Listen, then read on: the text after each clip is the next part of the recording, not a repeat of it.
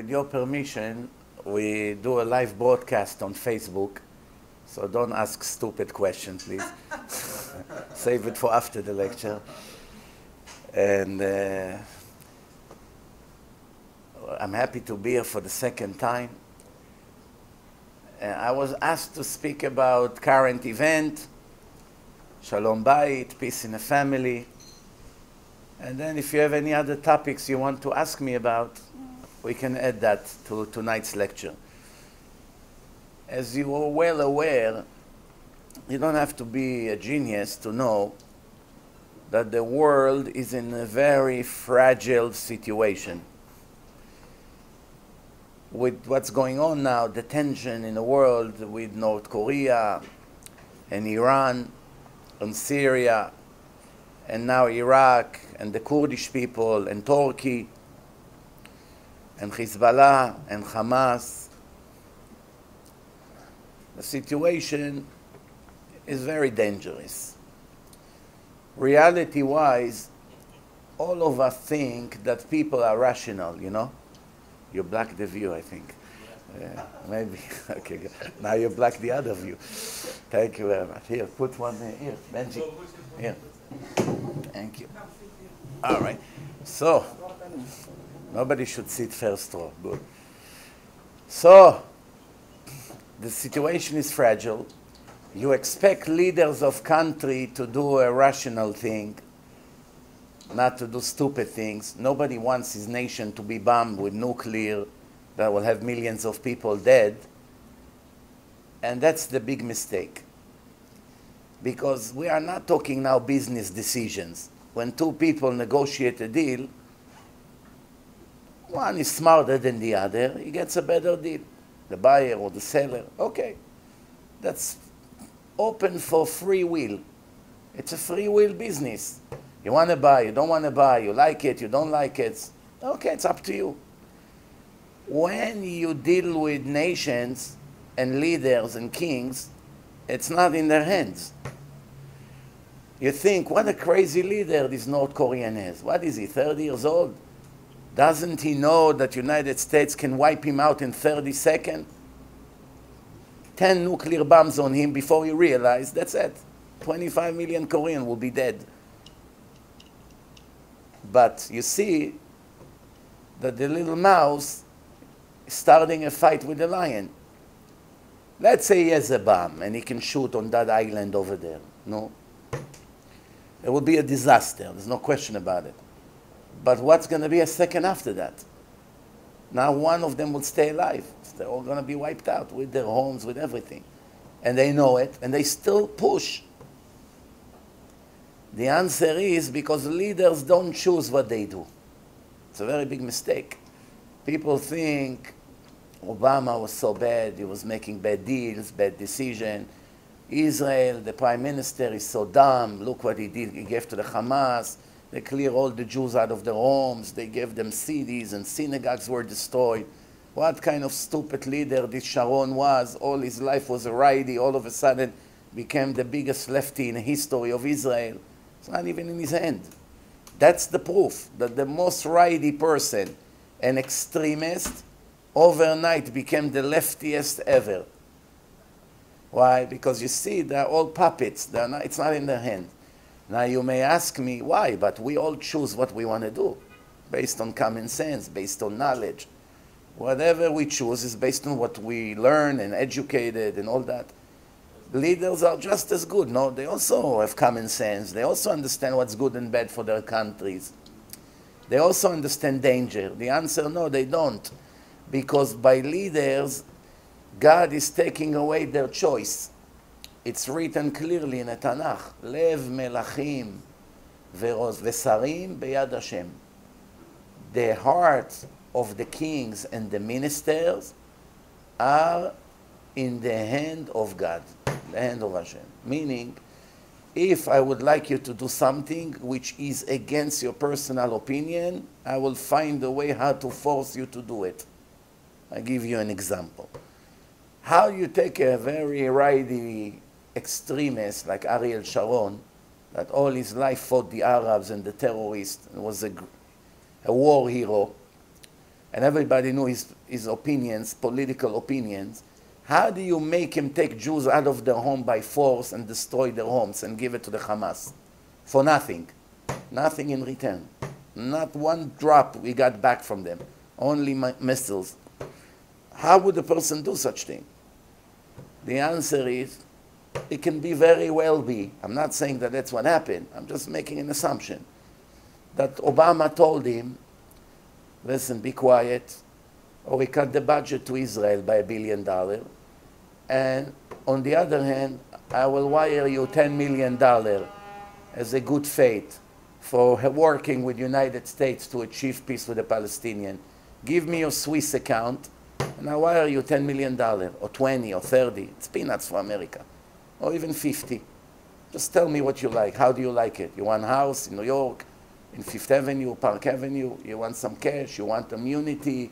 What do you like? Whatever you like, just name it. Finish. All of a sudden, he starts to speak. We have to return it. There's no choice. It's not even in his hand. He gives them a test that he cannot overcome. We all try to be righteous. How do I know? Most of you I don't know. Some of you I know, but most of you I don't know.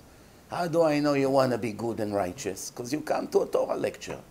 There's other things to do in the world now, right? More tempting maybe. Games, basketball, movies, restaurants, name it. If you come to a, a, a class on Wednesday night in Manhattan for an hour or two, that shows that you really want to be closer to God and know the truth and be maybe follow the Torah in a better way or to learn things you don't know that you can become better. You don't come for fun. You come for purpose.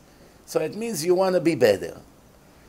So if a person come here and he wants to be more righteous and he wants to be better, is it possible to think that a person like this is immune from the Yetzer Hara, from the evil inclination?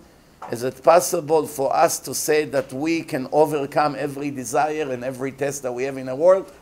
The answer, of course not. People have desires. Some people have weakness for money. They're very hard-working people. They don't make so much money. They have debt. They have pressure from their wives and their family and their children. And it's very easy to give them a test that they will not be able to overcome. You say to him, listen, I want you to transfer this bag of drugs from here to LA, I'll give you a million dollars. You, pay all the money you owe, the mafia won't bother you anymore, your children finally will be able to go to college and you pay their tuition, and plus you're not going to have the pressure you're living with. Otherwise, you'll be dead from a heart attack in a year or two. Just take this bag, go on a bus. Here is the route. You go from here to here. Deliver it to a person named John, and I'll give you a million dollars. Here is half a million up front. How many people will be able to overcome such a test? If you have $20 million cash in your bank account, you're not going to do it. Why taking a risk being 40 years in prison for a million dollars when I already have 20?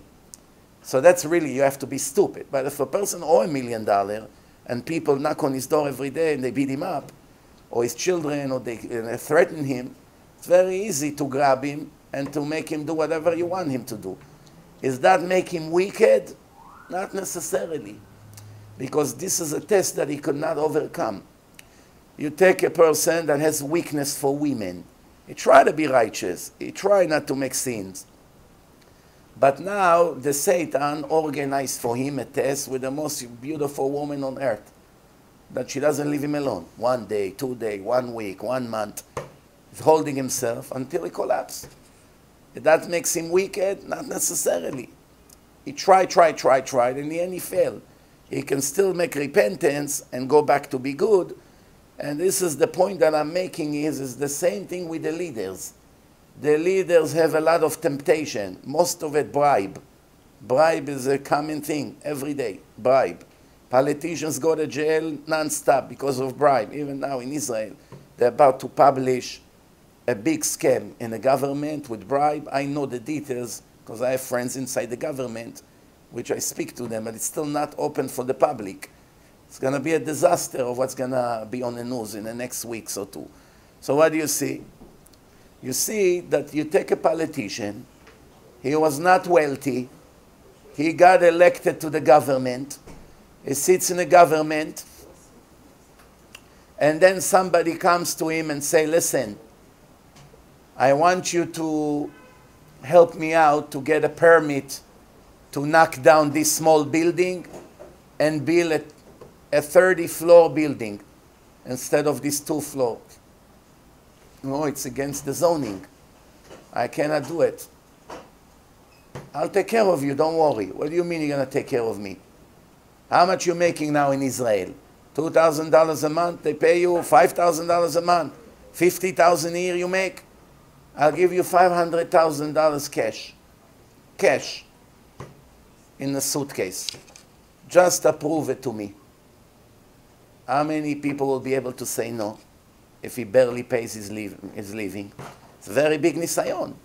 Some people would say no. Many people say, all my life I was poor. Finally, I have an opportunity to make in one minute half a million dollars. In Israel, it's a lot of money. I'll be able finally to buy my own home or pay my children weddings or whatever. There's millions of examples. Why do you care? Anyway, you have to hire a company for transportation for the schools in this town. So why do you care? It's going to be us, but you're more expensive by 10%. Why do you care? The government pay it, not you. But my job is to represent the government, not to lose money. But we'll give you a million dollar a year for working with us. You're not doing it for free. You're going to have vacations for life in this hotel, here and here and here. And we're going to pay all your transportation and all your flights, and you always get business class. And we send you boxes of Cuban cigars and a free pass to swimming pool for all your family, and, and weekends over here and weekends over there. This is how it goes. Millions of corruption transactions are taking place every week in the world. Millions, literally by thousands of thousands of corrupted politicians. We all like to criticize them and to hate them, but I promise you one thing that if we be in their position, we could have been even worse than them. It's easy to talk, but when you have a hard test, you can fail. So when Hashem wants the leader to do something which is the opposite of his ideology, the opposite of what he believes in, he can find in one second a way to do it. It's enough that he will send him a beautiful woman and he's going to talk to her not modest and she will record him and she's going to blackmail him. If you're not going to sign, we'll publish you to the whole world. That's enough. The, go the government, everything can collapse in a country because of corruptions like this. There's a lot of things like this happening all the time. They find out something. They now, now someone announced in America anyone who will send me corrupt, corrupted information about, against Trump that will be able to remove him from the presidency, I will personally pay them $10 million bonus. Did you hear it on the news or no? If anyone knows any information about him, who, who just published it two days ago? Uh, one billionaire, famous billionaire. huh? So here you go, that's how it works. They don't have shame anymore. He published it on the news against the president of his country. There's no shame anymore. Back in the time, he used to be under the ground. Tell people, but keep it quiet. Now on the news. Find me corrupted information, corruption, that I can, you know, put the president away. The whole world is becoming a zoo. There's no more rules, no more dignity, no more integrity. Everything is going down going back to what I started, so the world is in a very big danger now. Any minute, a massive war can start, and our life will be totally, totally different than what it is right now. If right now you have a good job, you're making a lot of money, you live in a nice place, you have wife and children, they go to school and they do well, and you're healthy, and you like to do certain hobbies, and everything working well for you, and you're happy, say, thank God, I have a wonderful life. Overnight, it can become a disaster.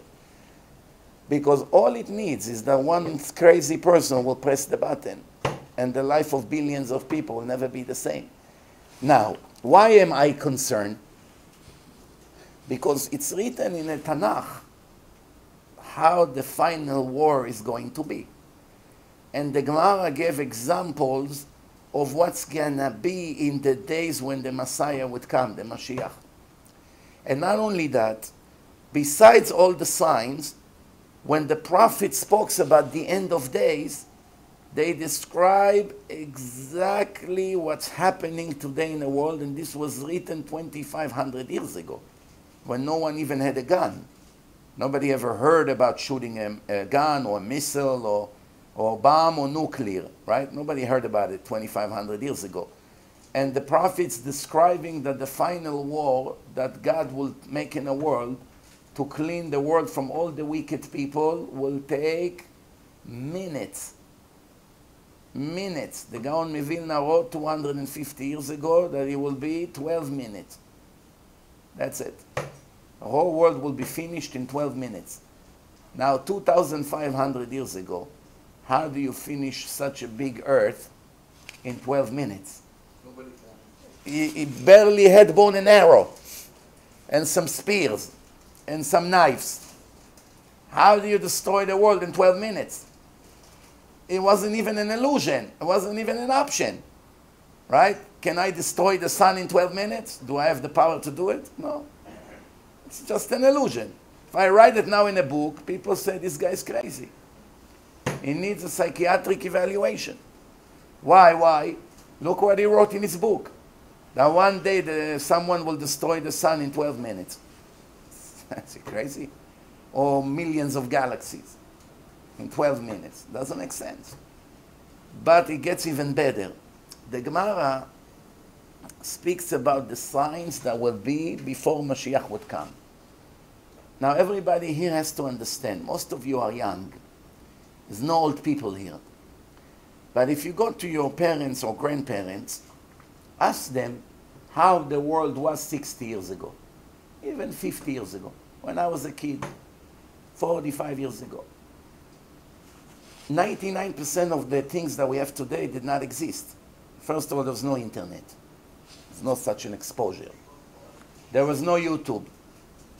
There was no internet. You decide which lecture you want to listen to. Maybe, maybe it's me over there more interesting. No, I know it's me. I recognize my voice. But I said, maybe I speak better over there. so, so anyway, so 45 years ago, when we were kids, there was no internet, no Facebook, no YouTube, no televisions with color. They just came out with the first television about 35 years ago in Israel, black and white. One channel, two shows per day. Half of it is news, the other half is concert by Beethoven. 50 people sit and play violin. That's what it used to be. Once a week you have a nice show, Dallas. That's it. Once a week, basketball game, Maccabi Tel Aviv, Thursday night. The streets of Israel are empty.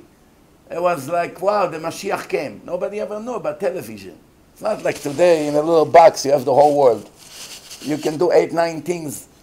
Save. It used to take months to do what I do in my phone in one hour now. How many projects I run with a tiny box in my hand? It, was, it would take me months to do it in the old days. So the world was totally different. The people were much more modest than today. Very, very modest. None of the sex crimes that take place today, not even 1%, took place 50 years ago. Drugs. If someone in Israel smoked grass, he was a top criminal. Like everyone knew him in town. That's like the biggest criminal in town. When I was in eighth grade, there was one kid in my school in Bat Yam in Israel.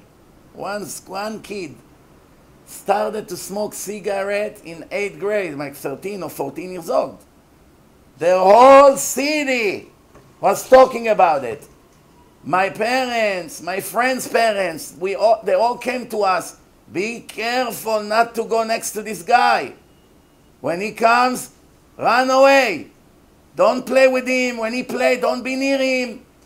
Don't start with him. He was the number one criminal in Bat Yam. Today, every hour, you have a murder over there. You didn't have one murder in Israel in the entire year. There was one murder in Israel maybe in five years. One person murdered a, a soldier, a girl, Rachel Heller, 19 years old. Somebody murdered her. Until today, they never found the real murderer. They put an innocent person in prison for 20 years. Then they released him. He refused to get a parole. Amos Baranes. They decided that he's the murderer. And they put him in prison and they kept telling him, the president will sign you a parole. You can go out. He said, no, I'm not going to go out by giving me charity. I'm innocent. You have to admit your mistake. Until then, I'll die in jail. 20 years he sat in jail for nothing. In the end, they admitted they made a mistake. They released him. They gave him a million shekel. Yeah, about a quarter million dollar after 20 years he sat in prison for nothing. Here he would get probably 50 million dollar. But then he got a quarter of a million a dollar, and six months after he came from jail, he died from cancer. That's what happened. But nobody stopped talking about that murder for five years because it was the only murder to talk about. Every hour you have a murder in Israel now. So I don't have to explain to you in one generation the drop in the ethic and the level of the people, not only in Israel, all over the world. The number of the divorce cases. My rabbi told me when he was a kid, 70 years ago, He's 75 now, let's say. So when he was uh, seven years ago, when he was five, six, seven years old, he was a kid. He walked with his father on the street of Bnei Brak, And he asked him, Abba, מה זה What's divorce? What is a divorce? He didn't know, he's a little kid. His father got such a shock. He smacked him right away. Shh! Who taught you this word? How do you dare to say such a word? I'm sorry, I didn't know what it is. Don't ask if you don't know. And he went home, he asked his mother quietly. He told me the story. My father almost fainted when I said the word divorce. Today, in every class you go in the world, in the modern world, in Europe, in America, in Israel, you ask the kids in the class, who is here coming from a divorced family? Almost everybody. You have 35 kids in the class, 30 will raise their hand. Right or wrong?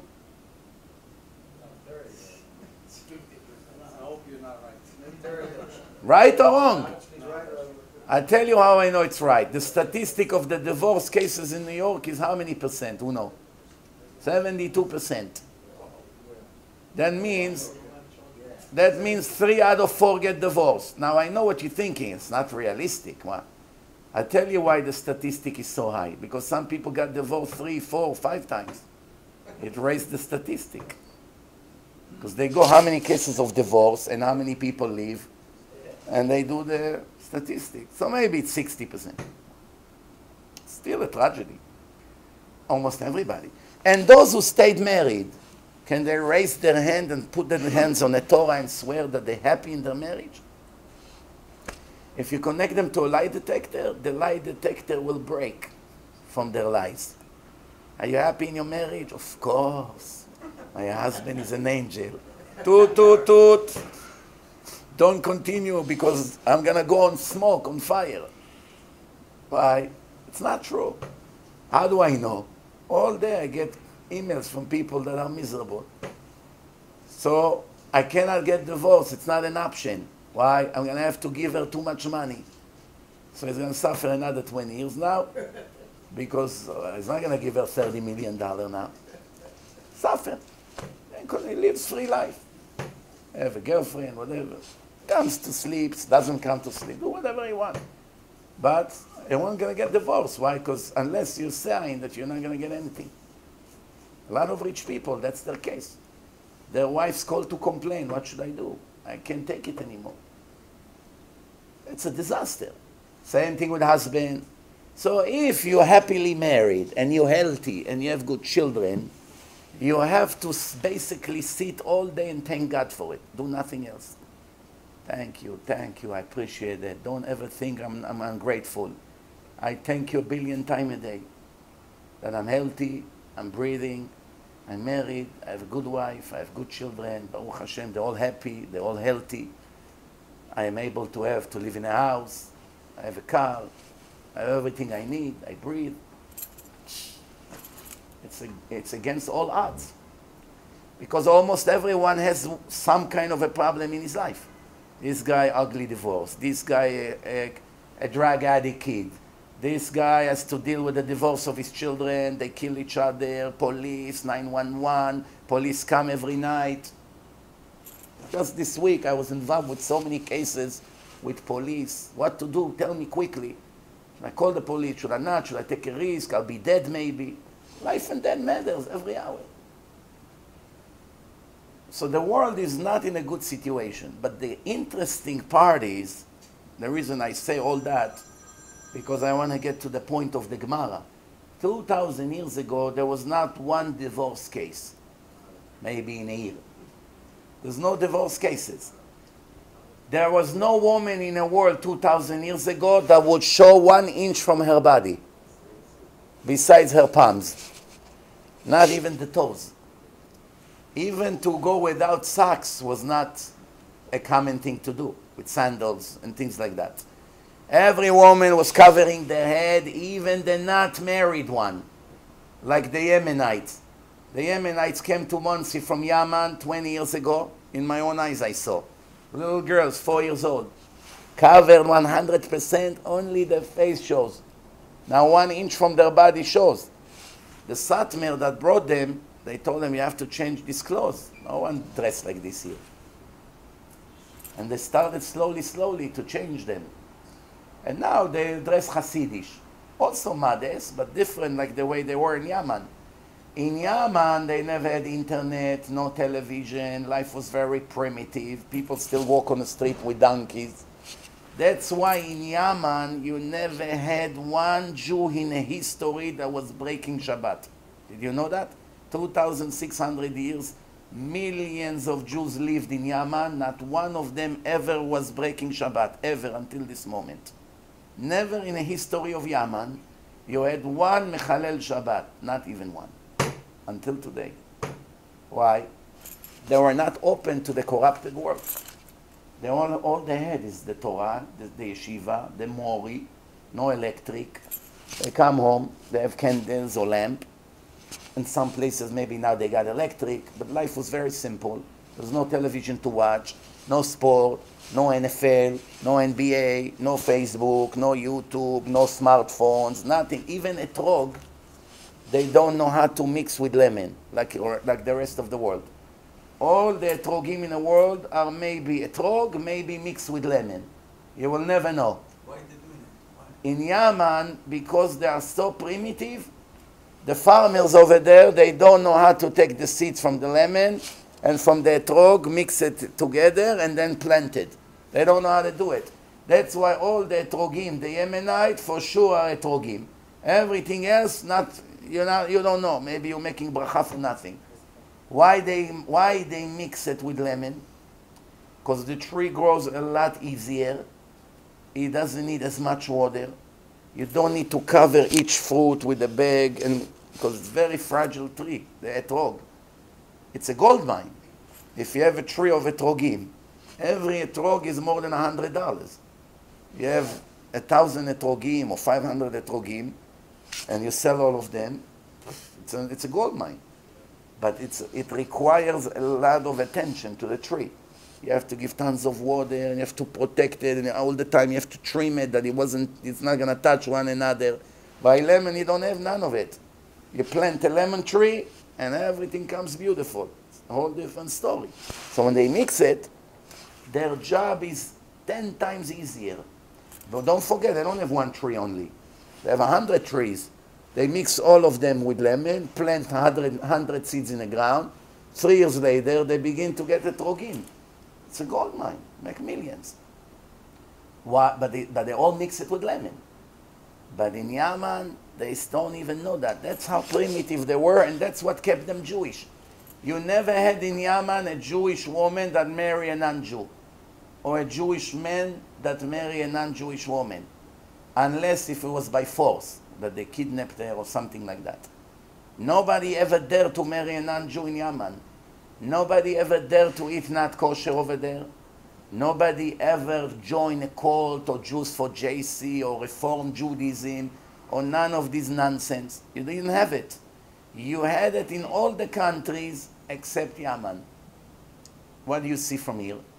That the biggest danger to Judaism and to your soul is materialism and modern lifestyle. As much as you hate to admit it, because you don't want to give up your drugs, which is smartphone or sport or computer or whatever you like, or sport cars or I don't know what, you have to be honest. There is a price to pay for this luxury.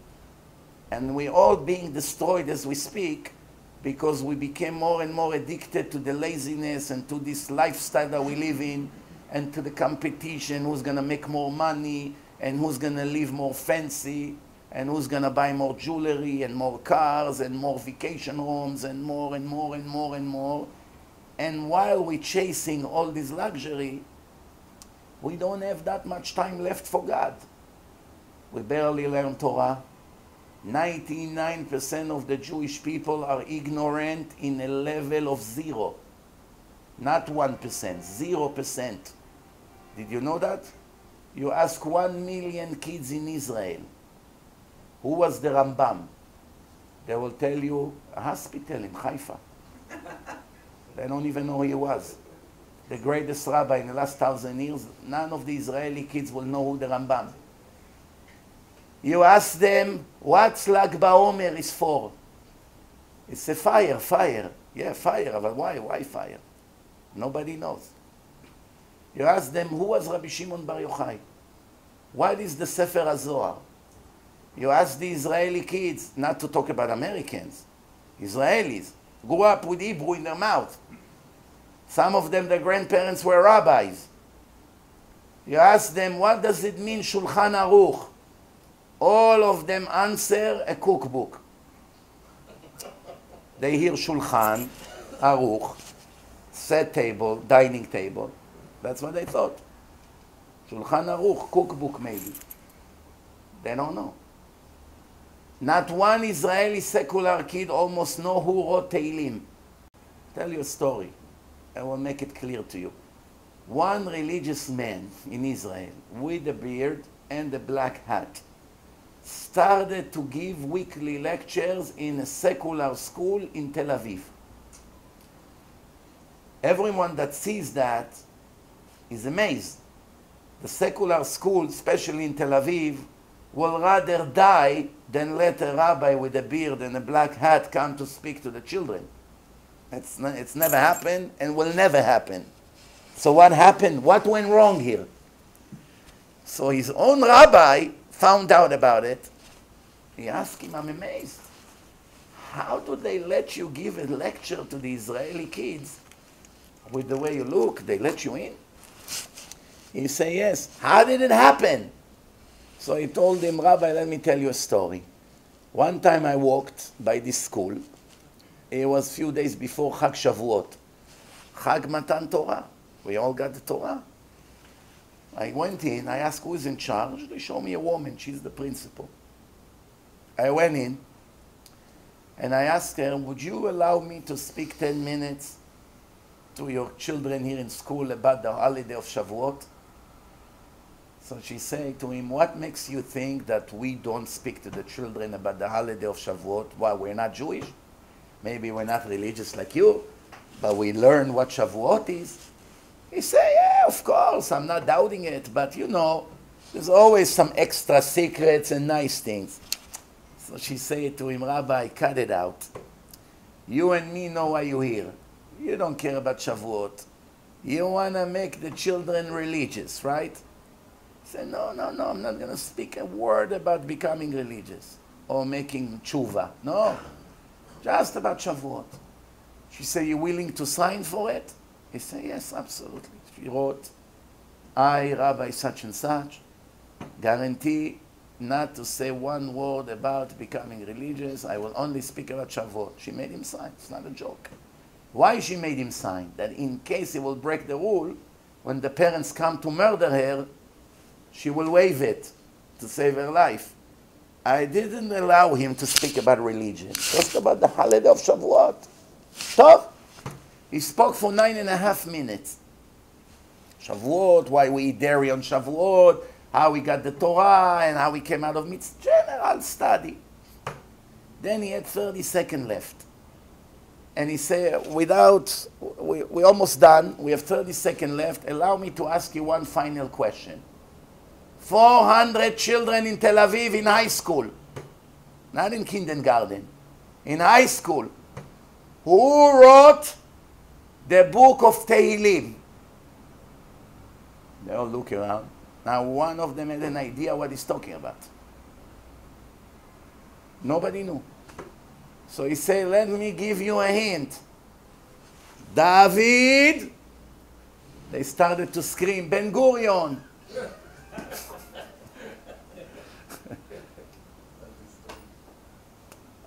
I mean, I'm ashamed that I'm laughing. I, I just couldn't hold myself. But really, we should cry. We should fall on the floor now and cry. We went from 100% to 0%. That's what happened to us. Unless you're really religious and you go every day to yeshiva, your level in Judaism is between 0 to 5%. That's it. If you already know 5%, they, in Israel they will call you a rabbi. they'll be so amazed. You know, the rules, נטילת ידיים, המוצי, מה, משה? מאיפה אתה יודע את כל זה? You're surprising me. אה, הייתי תלמיד ישיבה כשהייתי ילד. I used to be תלמיד ישיבה. Meaning, if he wasn't, he has no idea that you even have to wash your hands before you eat bread, and how you do it, and what kind of bracha you have to make. True or false? Everything I say, it's true or false, or you disagree with me? I dis- Huh? I disagree with you. Tell me why not. Why not?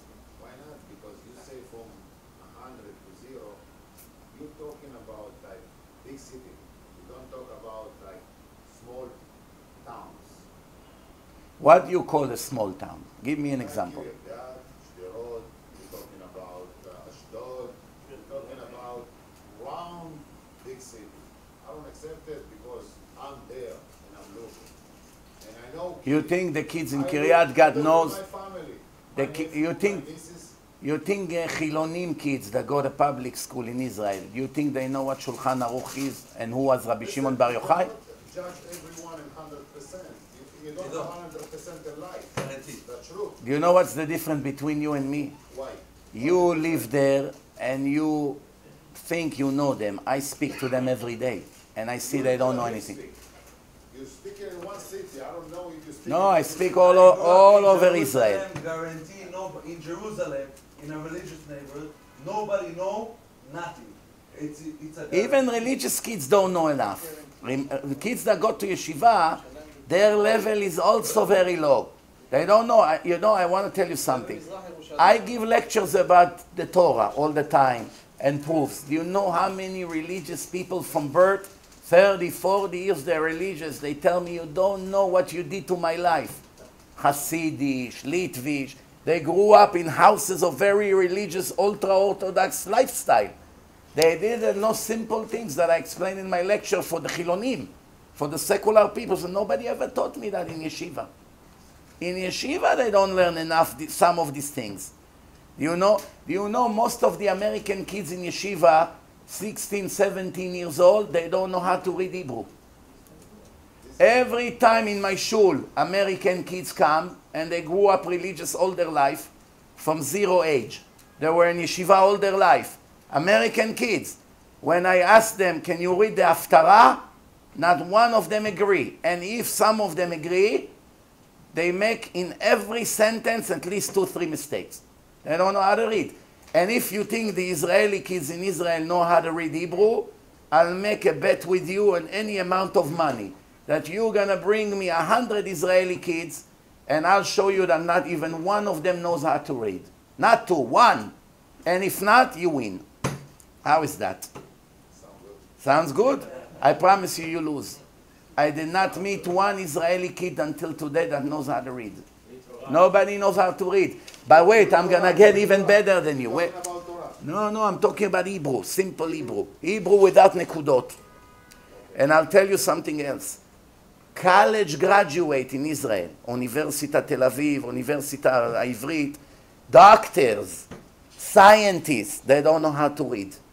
You can see in some of my lectures, I call them to the stage, I open Rambam, read this halacha. He read four lines, 20 mistakes. Doctor, Israeli doctor, computer brain, knows computer, knows physics, he knows mathematics, yes, much better than me.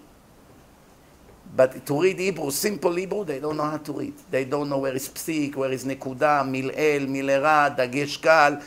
למשל, הנה תפילה, הוא יעשה מכלכל חיים בחסד. They all read מקלקל חיים בחסד. Messing up the whole תפילה. מקלקל means spoiled. מקלקל means feed. Feed us with פרנסה. Just one simple example. People make a lot of mistakes.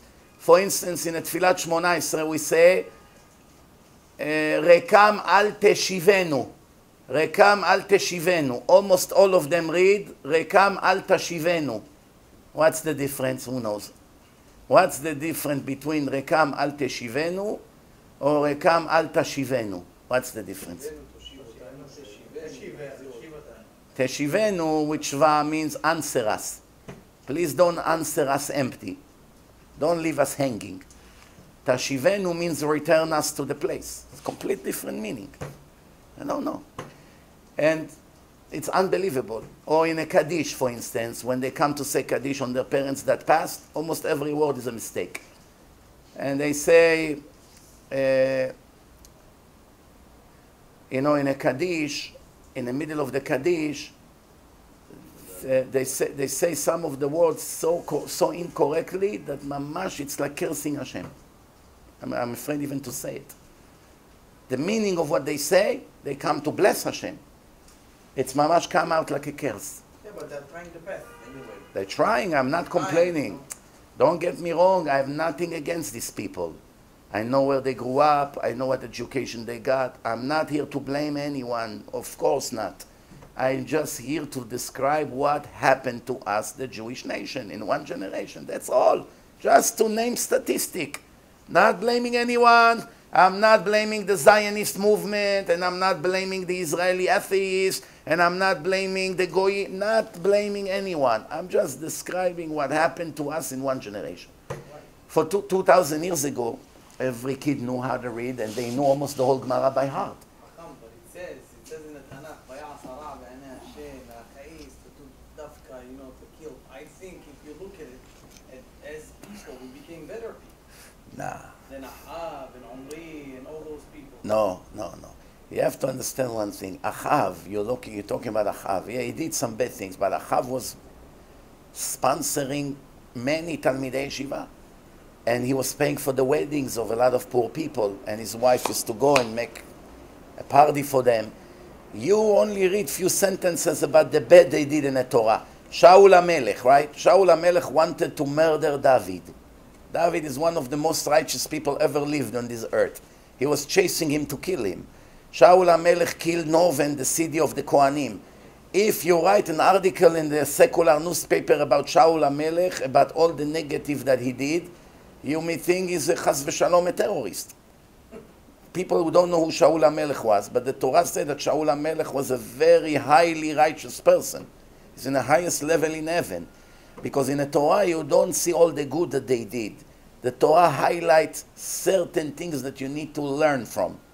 You don't have the entire life, all the mitzvot, all the Torah, he learned, all the tzedakah he give. You don't write everything about every person. Only key events that we have something to learn from. That even great people can do horrible things sometimes. It's misjudgment or things like that. You understand? And, and the Gemara said that Shaul HaMelech, because he was so perfect and so modest, Hashem gave him a gift. Mordechai and Esther came from his descendants. Mordechai and Esther came from Shaul. Right? מרדכי, איש ימיני, היה בשושן הבירה, ש- בן קיש, right? קיש, it's, it's, it's come from Shaul HaMelech. So what do we see from here? So, yes, you're right about what you say. Sins we used to make always. Even in the time we came out of Mitzrayim, we made Hashem angry so many times. It's written in the Torah. Overall, as people, everybody knew how to read. Every woman was modest. There's no such thing. Woman walks naked in the street. Millions of naked women on the street. You never had such a thing until a hundred years ago, even by the Goyim. I put in my Facebook page a picture from the beach here in South Carolina, 1904. All the Goyot over there with dresses from this window to here to this wall. That's how wide. Cover everything in the beach, covering the hair, the hair, even the hair you cannot see. Like Rabbaniot with umbrella. And then when wanted to go into the water, they didn't go with the bathing suit and swim in front of the men. They had rooms on wheels inside the water, inside, and the woman walks in and closes the door, just like in a private bath. She swim inside, and then she comes out and closes, put her clothes back on. Nobody dared to walk with a bathing suit 120 years ago. If a woman would come in the street with short sleeves, that would be the end of her life. No one would ever marry her. No one wants to talk to her. Everyone call her prutza, zonat, stalkimipo. Nobody wants to talk to her. That's how it was. By the goyim. By the goyim. And I tell you even better than that. You all, most of you Americans, did you know in 1970 in United States the public school were separated boys and girls separately? Did you know that or no? The public school of the Goim, not Christian schools. Public schools all over here in Manhattan, in Queens. The men come from one side of the street, the boys, and the girls come from a different side of the street. There's a big separation between. They don't even see each other. That was 50 years ago.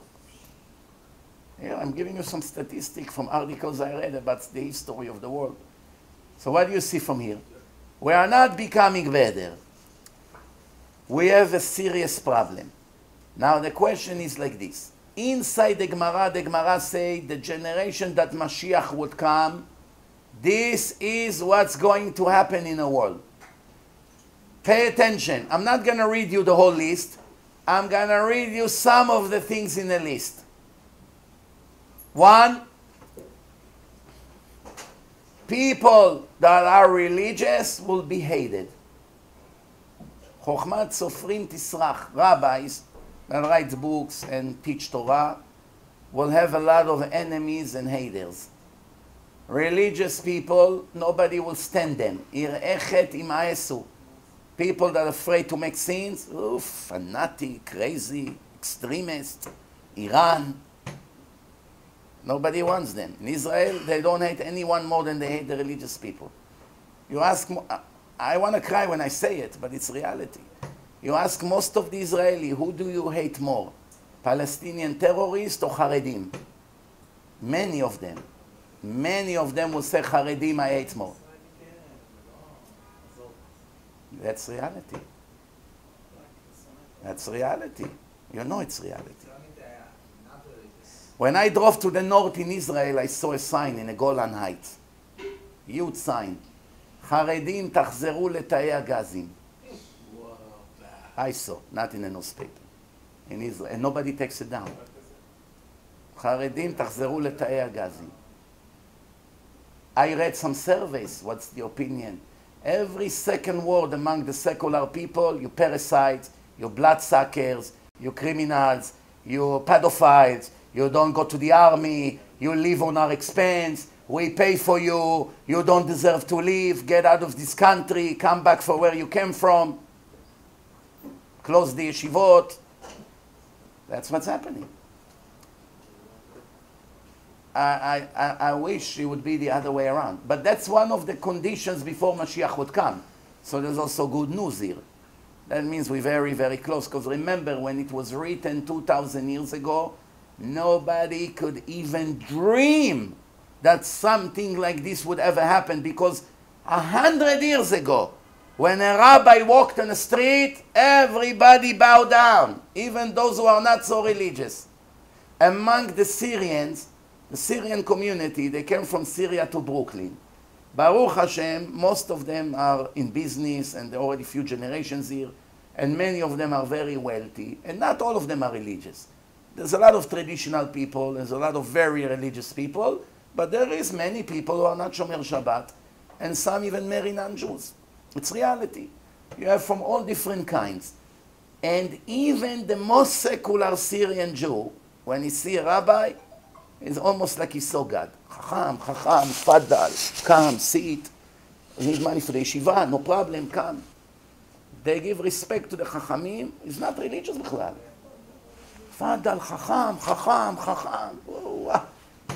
Sometimes I go to pray in some of their shoes. I'm embarrassed to walk in. Everyone will recognize me. Alan, Chacham, Alan. Kiss your head, kiss your hand. Why? This is the way they brought up. But the rabbis is almost like God. but חסרהו מעט מאלוקים. Today, if you see what people write in the internet against the biggest rabbis in the world, I don't think they were cursing Nazis like they curse the rabbis today. I'm talking from experience. At least a thousand times people wish that all my kids will get cancer and die, together with me, of course. Why? Because I tell them things they don't like to hear, such as, Mechalel Shabbat Mot Yumat, and he has no share to the world to come. They get angry. Even though I show them the source in the Torah, that it's written 12 times in the Torah, and I did not write the Torah. It's easy to curse me. What are they going to do? They curse God? They're not going to curse God in public, even though some of them even did that. Well, it's better to curse the, the speaker. But who would ever dare to do such thing? Nobody would even dare to do such thing. So that's what the Gemara say, that before Mashiach would come, that's what would happen in the world. The Gemara say there's no more shame. People lost their shame. כלה מתחצפת לחמתה. The daughter-in-laws disrespect the mother-in-laws. Boys have no shame from their parents anymore. 50 years ago, your father came to the house, all the children were standing like soldiers. Nobody will ever sit in his father's chair. People kiss their father hand. When the father talks, nobody make a beep. When the father asks something right away like soldiers, they run to do it. Even by secular people, it was like that. Today, hey, old man, where is the car key? No, no, I need the car, don't take it. Shh, I need the car, I made a date. I'm gonna pick up Christine, give me the car. No, no, I have an impo- I have a meeting. Shh. Hey, Dad, how many times I told you? Don't do it to me. I'll call the police on you. You understand? Now I want to ask you a question. Your grandparents, go ask your grandfather if he's still alive.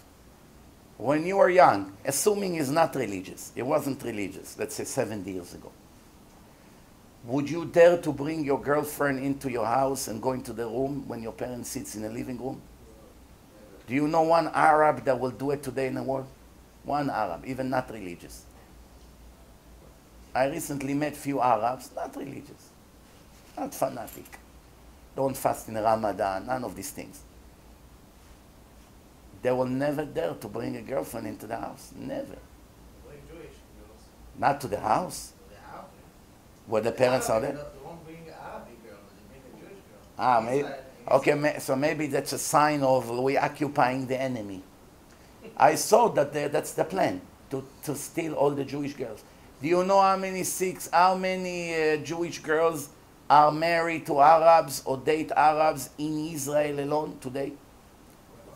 Five percent. Number, number. Thirty thousand. How many girls? Thirty thousand. Hundred and twenty. He say 30,000. That's the written statistic. But people that deal with them told me it's at least double. Double. at least double because not all families report about it to the authorities. 60,000 Israeli Jewish girls are living in Arab villages with Arab boyfriends. Some of them already married to them and they have close to 10 children and they join the Hamas. They are Jewish. They have Jewish souls. If an, a Jewish woman marries an Arab, all 10 children are Jewish. There's a famous story that one person that helps Arachim organization, he got a call, can you host a guest for Shabbos? Yes. There's a guy, he's going to show up. Okay. A guy, dark guy came. They thought maybe he's Yemenite. Dark, could be Yemenite, Iraqi, Moroccan, Sfaradi, Indian maybe. Tov, he came, נעים מאוד, Shabbat Shalom. He came in, speak perfect Hebrew. The entire Shabbat, he said to the Jewish kid, sing, sing this song, I like it. The song that they sang in the shul. לך דודי לקראת כלה. They said, "Okay, sing it, sing it. They thought maybe he's crazy. you come to someone's house for Shabbat. You ask his children to sing a song. No, once, twice, three times. If you ask ten times, can you sing that song again? Uh, definitely means something is not right with you. It was very uncomfortable. Saturday night, he's about to leave. The father said to him, You know, you didn't even tell us your name. Didn't ask him the name. He said, Mahmoud Abdul Rauf. Whoa, whoa, whoa. Now, this was exactly in a month that every day they blew up a bus in Israel. Remember this day? A few years ago, like 10 years ago? 2000, maybe 15 years ago. Every day or twice a day, a bus goes boom, an explosion. They started to shake. Oh, maybe he puts bombs all over the house. They got very nervous. He said, What? Abdul Mahmoud? You're an Arab? Said, Let me tell you the story. He said, I grew up in this village in Israel, Arab. I, I learned a lot of Quran. One Friday I went to the mosque and the Qadi over there, he gave a speech and he said it's a big mitzvah to steal from the Jews. To steal from them everything they have. It's written in the Quran, he said. And since I read the Quran and I know every verse in the Quran, I got up in a mosque and I told him, Excuse me, where does it say such a thing in the Quran? It doesn't say such a thing in the Quran. I know the Quran. It doesn't say to steal from the Jews. He said to him, Sit, you dog. Kalb. Right away, you kelev. Sit.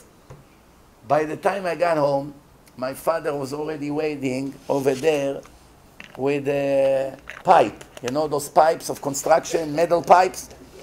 Waiting already. He broke every bone of my body. Boom, was beating me, almost killed me. You traitor, you traitor. And he kicked me out of the house. I arrived to Tel Aviv. I started to work as a waiter, sleeping on the streets. And then after that, I moved to work for Hasidic Jews. And then one time they told me, tomorrow we close, don't come. I said, why? It's the middle of the week, it's not Shabbat. He said, tomorrow it's Yom Kippur. I asked them, what's Yom Kippur? So we all go to the synagogue to cry for, for forgiveness and this. I want, so I want to come to see. Can I come? He said, you cannot come in because all the chairs are sold, but you can stand outside and watch. So I went there. I stood in the street, and I saw hundreds of people with the talitot, and I felt very special, spiritual. And I said, since I don't have any way anymore family, and I cannot go back to the Arab village, and I don't have any Arab friends, they target me as a trader, then in that case, maybe I become a Jew. At least they accept me, the Jews. So I said, I called to my mother and I told her, I have to meet with you. Something very important. So she said, come in the afternoon that no one is in the house. Put a scarf, something that nobody recognize you. He said, I went back home and I told my mother what happened and I decided to become a Jew.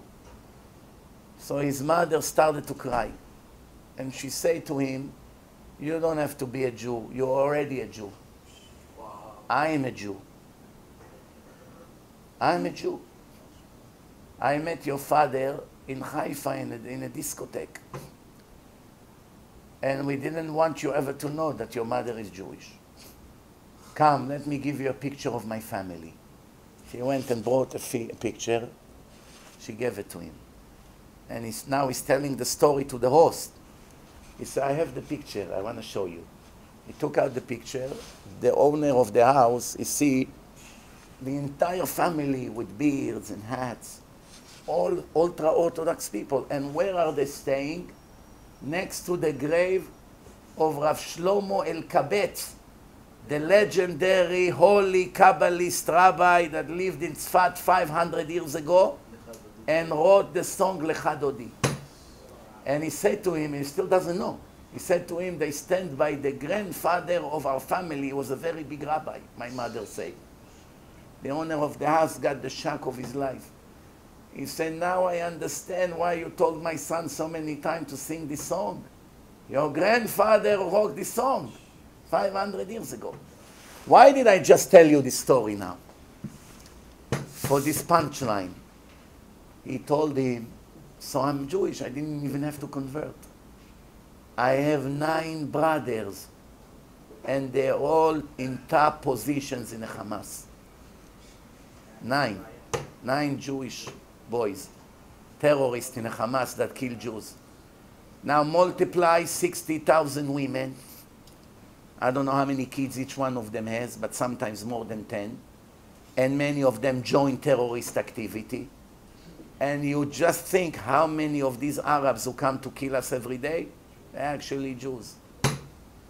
Now I tell you something else that Rabbi Zamir Cohen and uh, Nir from Hidabroot, when they, we just had a seminar, they spoke about this epidemic, and Nir was giving a speech over there. And this is what he told me after the speech. He actually said it also in a speech. He said, when these Jewish boys, they know that the mother is Jewish and the father is an Arab, they try to prove that they are not Jewish because it's a curse to be a Jew by the Arabs. It's like a dog. They look at us like we are dogs.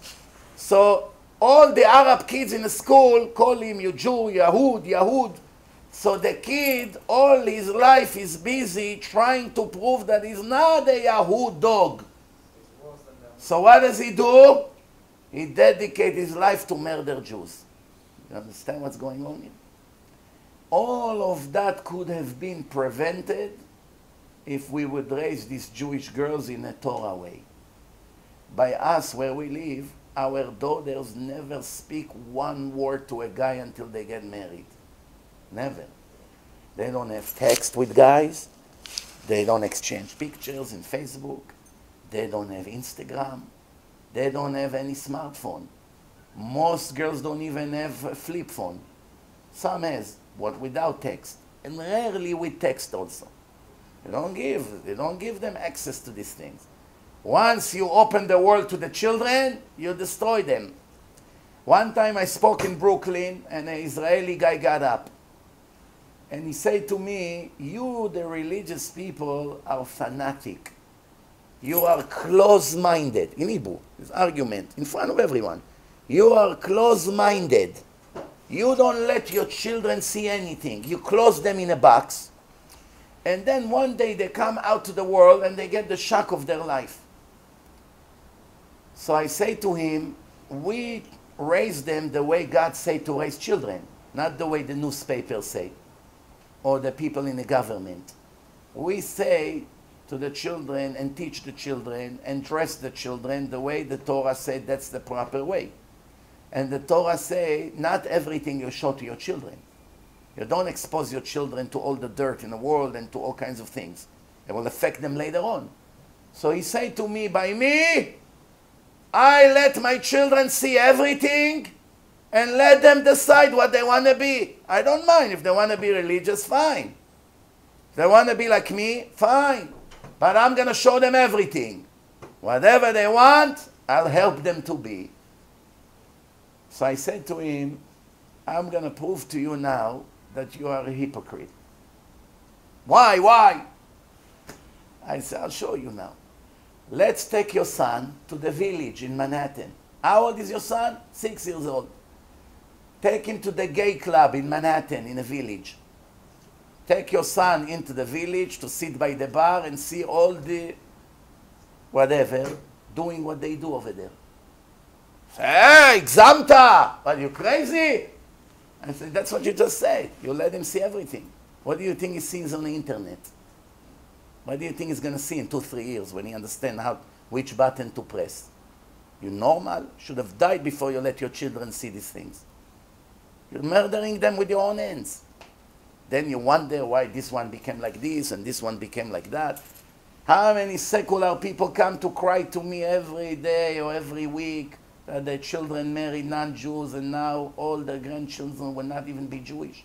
Some of them Holocaust survivors. This is what we suffer for. My parents died for this and this, and then look what my son is doing. And some of them marry Germans.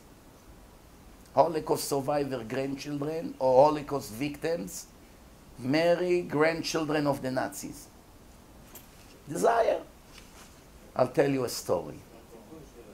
I'll tell you a story. There's one Israeli guy in Israel, Dati Leumi. You know what Dati Leumi means? It means religious, but not Haredi. He doesn't dress black and white or black hat. He has yarmulke and tzitzit. And he's a little bit more open-minded and more modern. He maybe go to university. Some of them may have television. They listen to secular music, some of them. I say some because you have different people. Some Leumi are more Haredi than Haredim. They just don't want to say it. And some Haredim are more secular than Chilonim, but they don't want to show it. We're talking in general, general rule. General rule, you know what to expect from a Leumi. He admired the army, he joined the army, he like all kinds of music, sometimes even movies.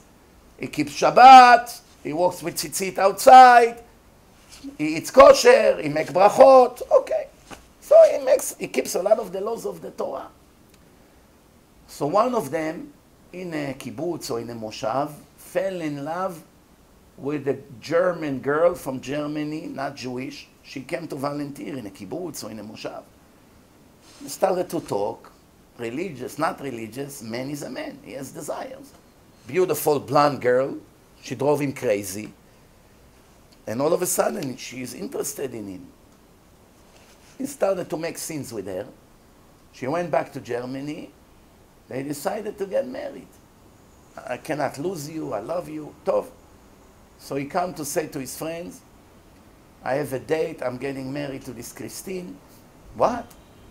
You're religious? You're married to a Goya? What's wrong with you? I can't. I can't. It's my heart. What can I do? Don't blame me. Don't judge me. Why are you judgmental? Don't judge me. You know how people are. Oh, you're, you're upsetting me. You're offending me. You don't know what I'm going through. It will break my heart. Tov, no, no. So all his friends, they're all fighters in commando units in Israel. I forgot to say that these Dati Leumi, they don't just become soldiers. They become the best soldiers. They run the army today. The top third commander in Israel is a good friend of mine. He is the admiral of the last war. He designed the war. A good friend of mine. We exchange always messages. It's Dati Leumi. So he's going to be one day the Ramatkal, maybe. So they be, they're all fighters. If I join the army, I'm not going to sell wafers in a shop or wash dishes. I'm going to be commando, Golani, Givati, you know. So they all, all his friends are fighters. What, uh, what's going on with you? You're crazy? You're going to marry a Goya? You betrayed your nation. You betrayed your God. You, you're going against the Torah. I can't. I can't. My heart. I fell, fell in love. I fell. Very deep I fell. Tov. No matter what they do, I cannot stop him. They can't stop him. So what are we going to do? Okay, we surrender. What can we do? They said to him, hey, Itzik, on your way to Germany, he has, he has a wedding on Sunday. Where? In a church. In Berlin, in a church. On Sunday, you know, in a church, they make the weddings. They have a hall This friend's going crazy. Say, okay, listen, since you're leaving us and you're moving to Germany, we prepared for you a gift. Come say goodbye to your buddies. Of course, he was happy. My friends accepted it. He came to the house, comes in, they're all hugging. Mazal tov, achi, mazal tov. Mazal tov, achi. Mazal tov, achi. They said to him, come, we, we made you the nicest surprise. You'll never forget your buddies. They took him to the room. One of them was a real gorilla. He pushed him in. Boom! He fell on the floor, closed the door, and locked the key. Now, you know, in Israel, all the windows have bars. They prepared for him tefillin, talit, tuna cans, There's bathroom in a room. You're not coming out of this room for three days now.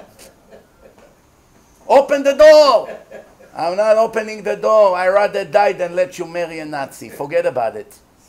No, she's not Nazi. She's a great person. She loves Jews. What are you talking about? She came to volunteer in Israel. We're religious, buddy. We're not Chilonim from Tel Aviv. We don't marry Goyim. We go against, we, we're not going against the Torah. I'm sorry. It's not in our hand. Open the door. We don't open the door. Nothing will help you. I'll sue you. I'll kill you. We don't open the door. He started to, he tried to threat. It didn't work. Now he's crying. I'm begging you, please. There's 500 people waiting. Don't do this. Okay, let me go at least to explain. You know the story. You're not coming out of this room. Banging, banging for hours. Till he couldn't talk. That's it. Fell on the floor like this. When the wedding passed, Monday, they opened the door. He came out. Now there are three. One against three. Trying to kick, to fight. They put him on the floor. Shef b'sheket. Right away, he ran to the phone. He called Christine, Monday. Oh, Christine, don't ask what happened. You dirty Jew. Everybody told me, how do you marry a dirty Jew? Hitler should have finished the job. 15 minutes she was cursing the Jews. Not even him, just the Jews, the Jews, the Jews. Put the phone down, turn around, and they're all standing next to him. I'm so blind, I'm so ashamed. You, don't know what you just saved me from. I was crying for hours. Hugged him. Wow, I cannot believe what I was about to do. It's crazy. What just almost happened. I read one book about the Holocaust, and there was one guy over there in the line to the gas chambers, one of the Jews. And he said to the friend next to him, So why are you crying? You, know we're all gonna die. How, what's the point of crying? No, I'm not crying about that. That I already accepted. We have to die, we die. I'm crying for something else. So why? So you see over there the woman with the baby? Say yes, that's my wife, German Goya. She called the Nazis to tell them that I'm hiding in the attic. They will never find me. I had enough food, everything. She turned me in and look how she's standing over there with her friends laughing. That's, that's unbelievable. Regardless of that, don't get the wrong impression. Even if we will assume that all the Goyim are angels and they're crazy in love with us, none of them wants to kill us. They all love us. They admire Jews. They love Israel and the God of Israel. They want to donate money to us and give us jobs. They want to marry us. They want to kiss us. They want to hug us. They want everything you can name it. We are not allowed to marry them. Even if the Jew is the dirtiest monster on earth, a murderer, a rapist, a thief, a dirty person, gangster, drug addict, whatever you want to say. And the goy, an angel, a good heart, righteous, modest, loving God, admiring the God of Israel and the Torah, educated, rich, heart of gold. And this Jew, worse than the dirt on the street, the way he behaved, the things that he does to people. The Jew is not allowed to marry this righteous Goya or the righteous Goy. It's not because the Goyim are bad. Not because they're not as good as us. It's not because we are more educated or wealthier or smarter or, or more uh, nice looking. Nothing to do with anything physical. It's a matter of souls. It's nothing to do with the body. Nothing. It's 100% as a spiritual reason.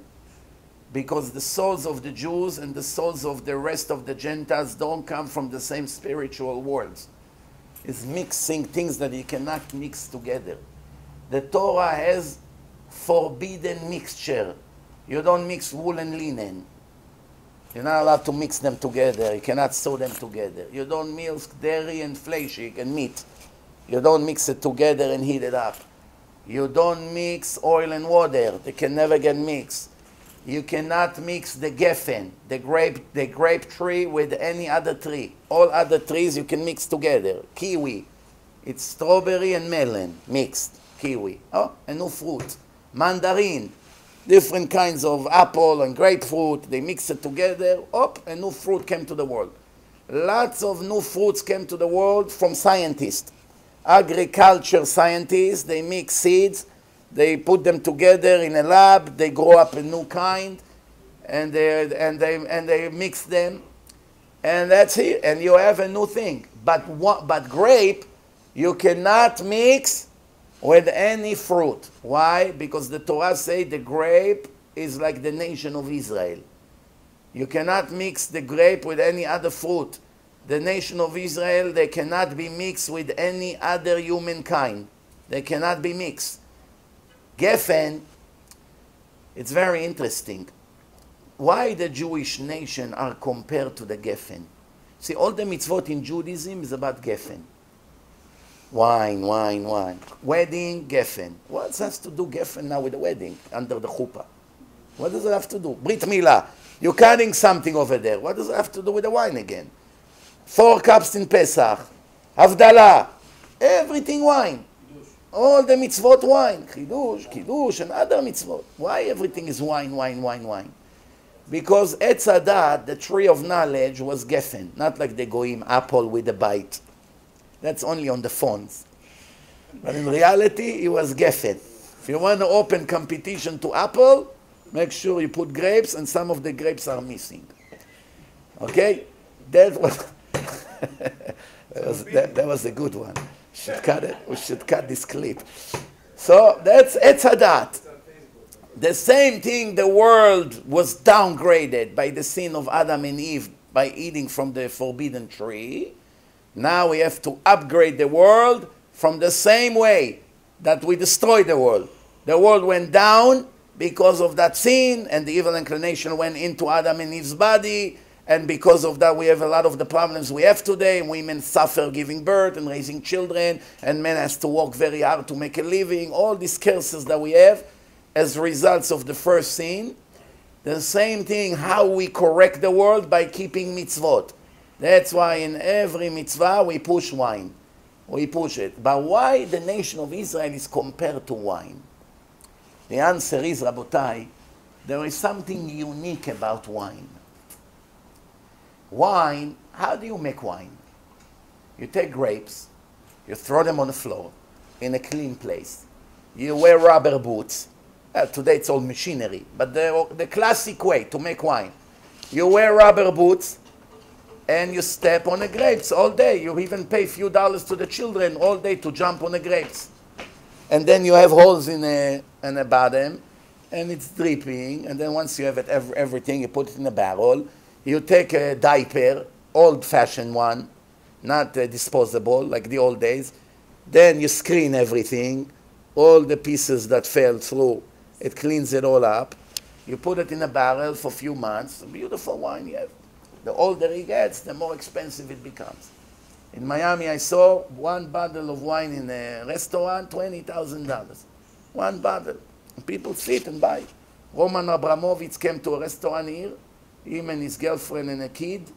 $67,000 was the bill. Why? There were two bottles of wine alone, there were 40000 That's it. It's already $40,000 in one dinner or lunch, whatever it was. All right, so anyway, so what's going on here? So, That's why we say l'chaim. oh, L'chaim is a different reason. Right? Someone once said, because Adam Rishon brought it for Mohammed to the world, so we bring it to the opposite, we say l'chaim. That's very nice, but there is a there's a better answer why we say L'chaim. You want to hear why? In the old days, it was almost impossible to find Mechalel Shabbat. Everyone was keeping Shabbat. Everyone. 2,000 years ago when Sanhedrin existed, who would be Mechalel Shabbat? Nobody heard about Mechalel Shabbat until 220 years ago. Remember this. You did not have any Jews that break Shabbat systematically. Here and there we make mistakes. We're not angels. But systematically, you did not have any Mechalelei Shabbat until Moshe Mendelssohn started the Haskalah movement in Europe. He was an Orthodox rabbi who decided to go to College of Goim. Right away, within 10 years, all his sons converted to Christianity and married Goyot. Nothing left from Moshe Mendelssohn. Moses Mendelssohn, Google him. He started the Haskalah movement. What did he do? He said there's no problem of religious Jews going out of yeshiva and going to college in Germany, Austria, and all these places. So Jews started to go to universities, and slowly, slowly, the assimilation started. 150 years of assimilation, and then came the Holocaust, and almost all the European Jews died, and some of them escaped. And then that's how the state of Israel became the state of Israel. This is roughly the history of the European Jews. Until 220 years ago, everyone was religious, everyone was Shomer Shabbat. Actually, if somebody ever asks you, who started the state of Israel? Don't ever let the Israelis fool you, please. Don't be blind by their nonsense. The state of Israel started by 100% Ashkenazi religious Jews from Europe, all Hasidim. Not one of them was secular. All of them black hats, peot, and beard with tzitziot. They came from Europe 1880, העלייה הראשונה. Moshe Sh- Moshe Mendelssohn, Zerach Baranet, Stempler, Yes, there are, there are even songs about it. But when they taught us in school in Israel, they taught us, they taught us who started Petach Tikva, Dgania, Rishon LeZion, Rosh Pina. They taught us who are the people. No, it's before Herzl, 1880, 140 years ago. They told us the first cities of Israel are Dgania, Petach Tikva, Rishon LeZion, Rosh Pina, and I think there's another one. And they told us the people that started those cities, those are their names. Moshe Yoel Salomon, Zerach Baranet. We never, but they never told us that they were Hasidic Jews. They never told us that. So we thought there are fighters who came and they bought the land and they, they dry all the swamps because Israel was all swamps with malaria and bugs and mosquitoes and people were dying uh, from fever. It was a disaster over there. And there were a few Arabs over there and that's it. There was nothing there. And they came and they bought all the lots and they, and they planted eucalyptus trees and they dried everything and they started to make cities and they hired the arab with money that they brought from europe to be the guards on horses the guards with, with the rifle and that's how israel started only in a second aliyah 1917 30 years later when the second wave came from russia and poland it was all communist anti-god anti-religious people the first wave was only religious people. Nobody would come to a place full of swamps, full of diseases, full of danger, with some Arabs, dangerous people that live there, unless they have the love to the Holy Land. Nobody would leave Europe and come to Israel when it was all desert and swamp just because they want to move. No, that's because Eretz Israel is holy. They were willing to sacrifice to move to Israel, to live in the Holy Land. So if somebody asks you, who, thanks to who we have Israel as a state, the answer, thanks to the religious people. Without them, we would still live in the exile in the Arab countries and in the German countries. We would not be in Israel today. We are only in Israel thanks to these Ashkenazim that came from Europe, and some of them died for the land to make Israel a state. Later, what happened, Baruch Hashem, we owe a lot of gratitude to a lot of other people, but everybody knows that the first one deserves most of the credit, right? Okay, now, so you ask me about why we say Lechaim when we do Kiddush. Every 70 years, the Gemara say, they used to catch one Jew that was not Shomer Shabbat. Not systematically. He made one sin and he got caught doing the same sin again after he got a warning. That's it. But he still keeps Shabbat, but there is one sin on Shabbat that he does. He give water to his plants. Or he add, he add pieces of, uh, of wood into the fire that his mikveh will be warm. Not that he's mechalel Shabbat, you're driving a car on the street. No. But doing something that is not supposed to do. They gave him a warning, he ignored the warning and broke Shabbat again in the same way. Now they brought him into Sanhedrin. Sanhedrin was the Jewish Supreme Court. 71 top rabbis in the world sitting in the Sanhedrin, some of them prophets even.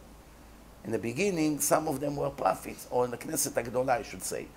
So anyway, the biggest Chachamim were sitting in Sanhedrin, and they hear the case, case of a murder, case of Chilul Shabbat, and they have to judge now.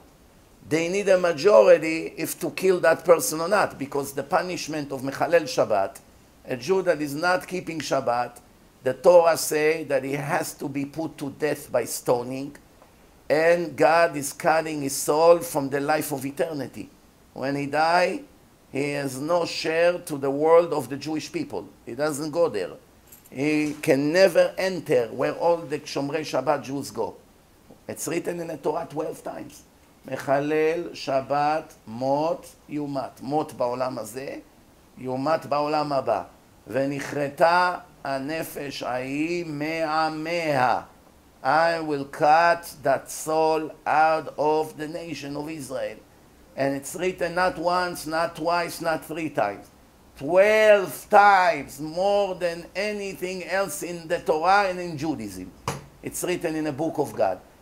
According to the Torah, the way to be Jewish, you need two conditions.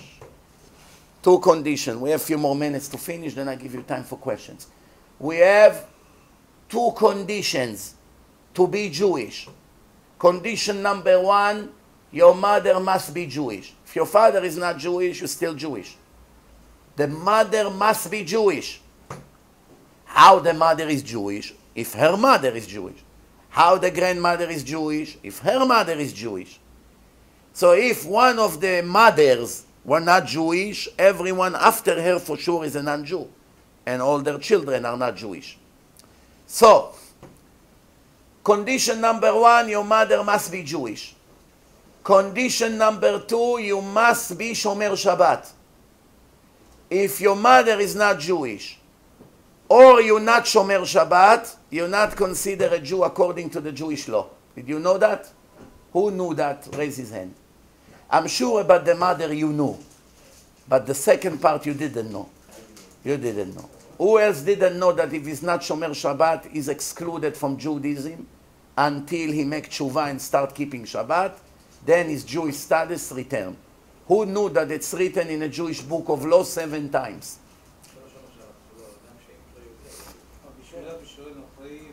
Yes. מחלל שבת, הרי הוא כגוי לכל דבר. That's written. רגע, רגע, רגע. I'm telling you what it's written in Shulchan Aruch and in the Rambam. And in the. Shh, Gemara, Rambam, and Shulchan Aruch. That means there's no argument. מחלל שבת ועובד כוכבים ומזלות, מחלל שבת and a Jew that worship idols. Bow down to the sun, bow down to Buddha, follow J.C. Penney, all these things.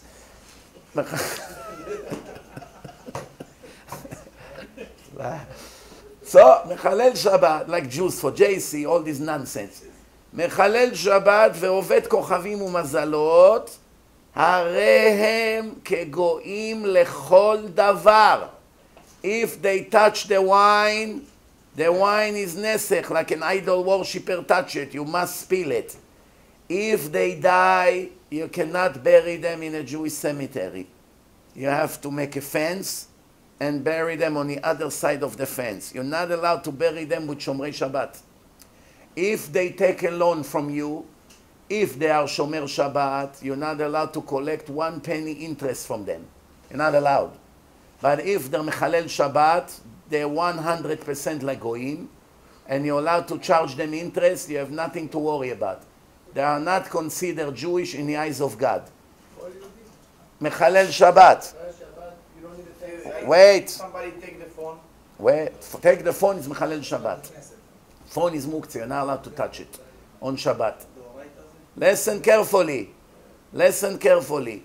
Now, if a Mechalel Shabbat testify in court, in Bet Din, the testimony cannot be accepted. If you marry your wife and one of the two witnesses is not Shomer Shabbat, you are not married, you have to get remarried. What happens if you already have children? They are legitimate. They're not mamzerim. They are children out of the marriage. Just like boyfriend and girlfriend brought a kid to the world, they're not mamzerim. Mamzer it's from a married woman that cheated on her husband. That's mamzer. That's a big problem. If a, if a man and a woman that are not married, they both Jewish, they brought a kid to the world, the kid is a legitimate kid. He can marry anyone, is not mamzer. He can be even a big rabbi one day. No problem. But mamzer cannot marry everyone. He can marry only mamzer and a gioret. That's it.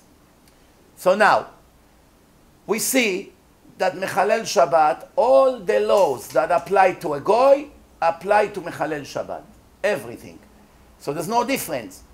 That's why, that's why, that you need two conditions. The only time that if you are breaking Shabbat, if you are Mechalel Shabbat, that you are still a Jew, that's only if you grew up like a goy, meaning you never knew a word about Judaism. You grew up in Siberia. You didn't even know what Judaism is. You never saw a synagogue.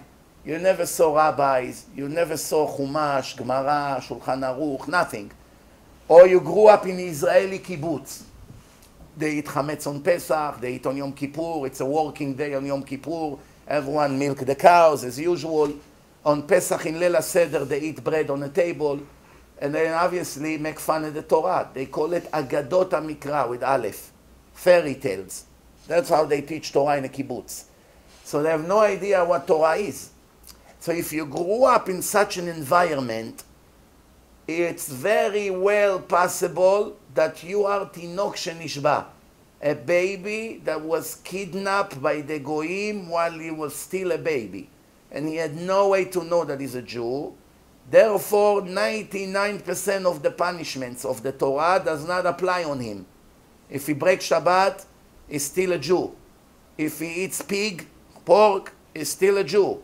If he even worship an idol, he's still a Jew. If he murder, he's still a Jew.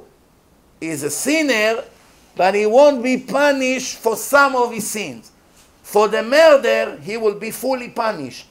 You don't need to be religious to know you're not allowed to murder people. If he steal, he will still be punished. You don't need to be a religious Jew to know you're not allowed to steal. Every normal guy knows it. But if he believe in Buddha, why do you want to give him a punishment? He never learned Torah. He doesn't know Buddha is an idol. He doesn't know. Or if he eats bread on Pesach, what do you want from him? He never heard the word Pesach in his life. He doesn't know it's a sin. Drink beer on Pesach. He doesn't know anything. If he works on Yom Kippur, he doesn't even know it's a Jewish holiday. He's in Siberia. He's in Siberia. What do you want from him? So anything he does because he never ever heard about Judaism is dismissed. Everything he does that you don't need to be a Jew not to do it is 100% guilty. That's why a lot of the secular Jews will be severely punished not for not being religious, for not being ethical, for stealing, for speaking gossip and ruining the lives of people on the internet, for murdering, for raping, for going with married women.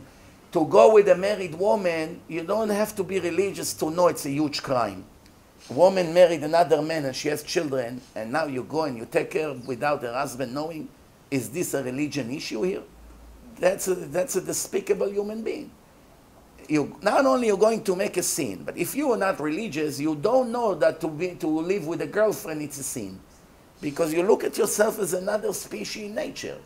You don't know that you're committing a sin by living with a girlfriend. She's not your wife. But if somebody else has a wife and you go and steal her from him, then everybody knows it's a big crime, regardless of religion. This is also the kibbutznikim they know. If you tell a kibbutznik he's going with the wife, with the neighbor's wife, so I say, what a low life. Should kick him from the kibbutz, even though he doesn't believe in God. So you understand what I'm saying? Everything is making sense? Okay. I just want to answer his question. Why do we sell lechaim in a wine, in a kiddush?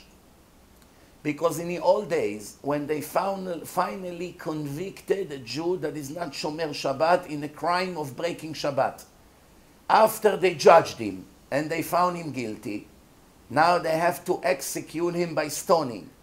How they used to execute those Jews? They used to take him to a hill, to a mountain, and there was a special place. They used to make him wear a special kilt like we wear when we go to the hospital or alenu the special outfit.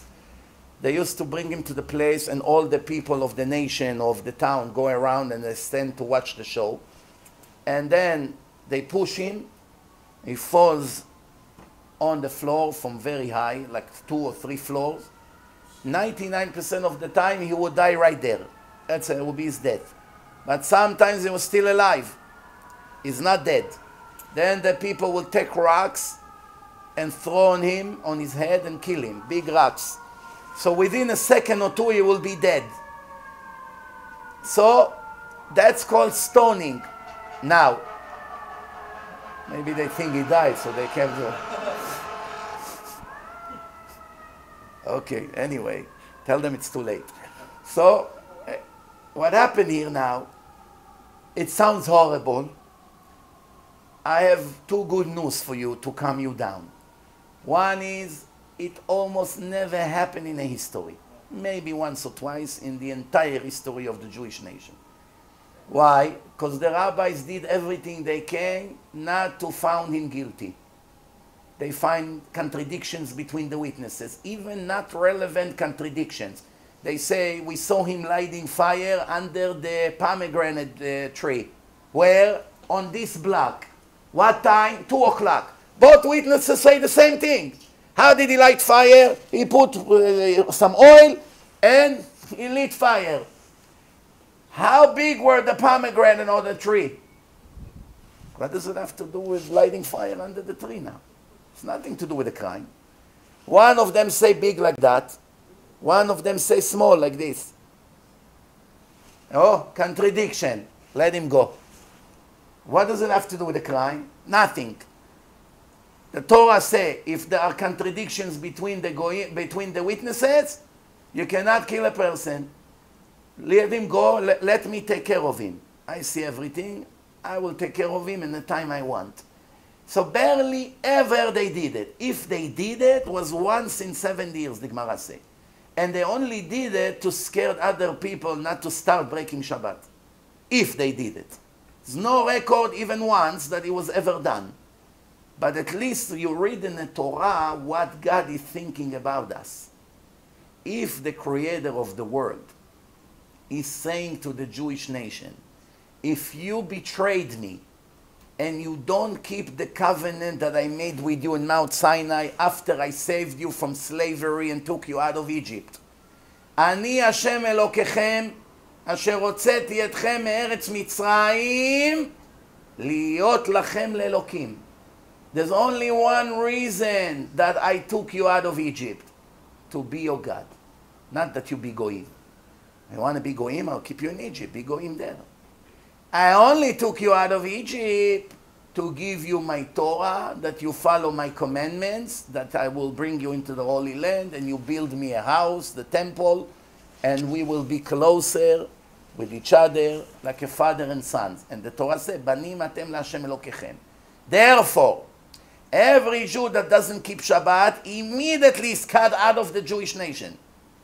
In his life and in his death and his eternity is cut for eternity. It's horrible punishment. What he's going to lose for some nonsense that he does on Saturday? It's terrible. Now, even though in the old days they did not execute people, the fact that the Torah said that that's what you deserve, if you smart, it's enough for you to know Look how much God cannot stand me.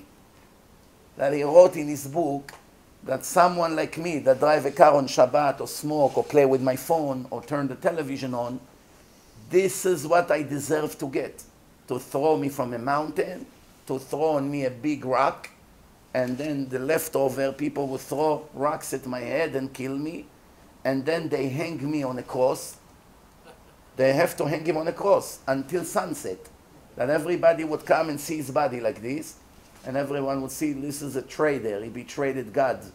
He betrayed the covenant. He's an ungrateful lowlife. Look at him.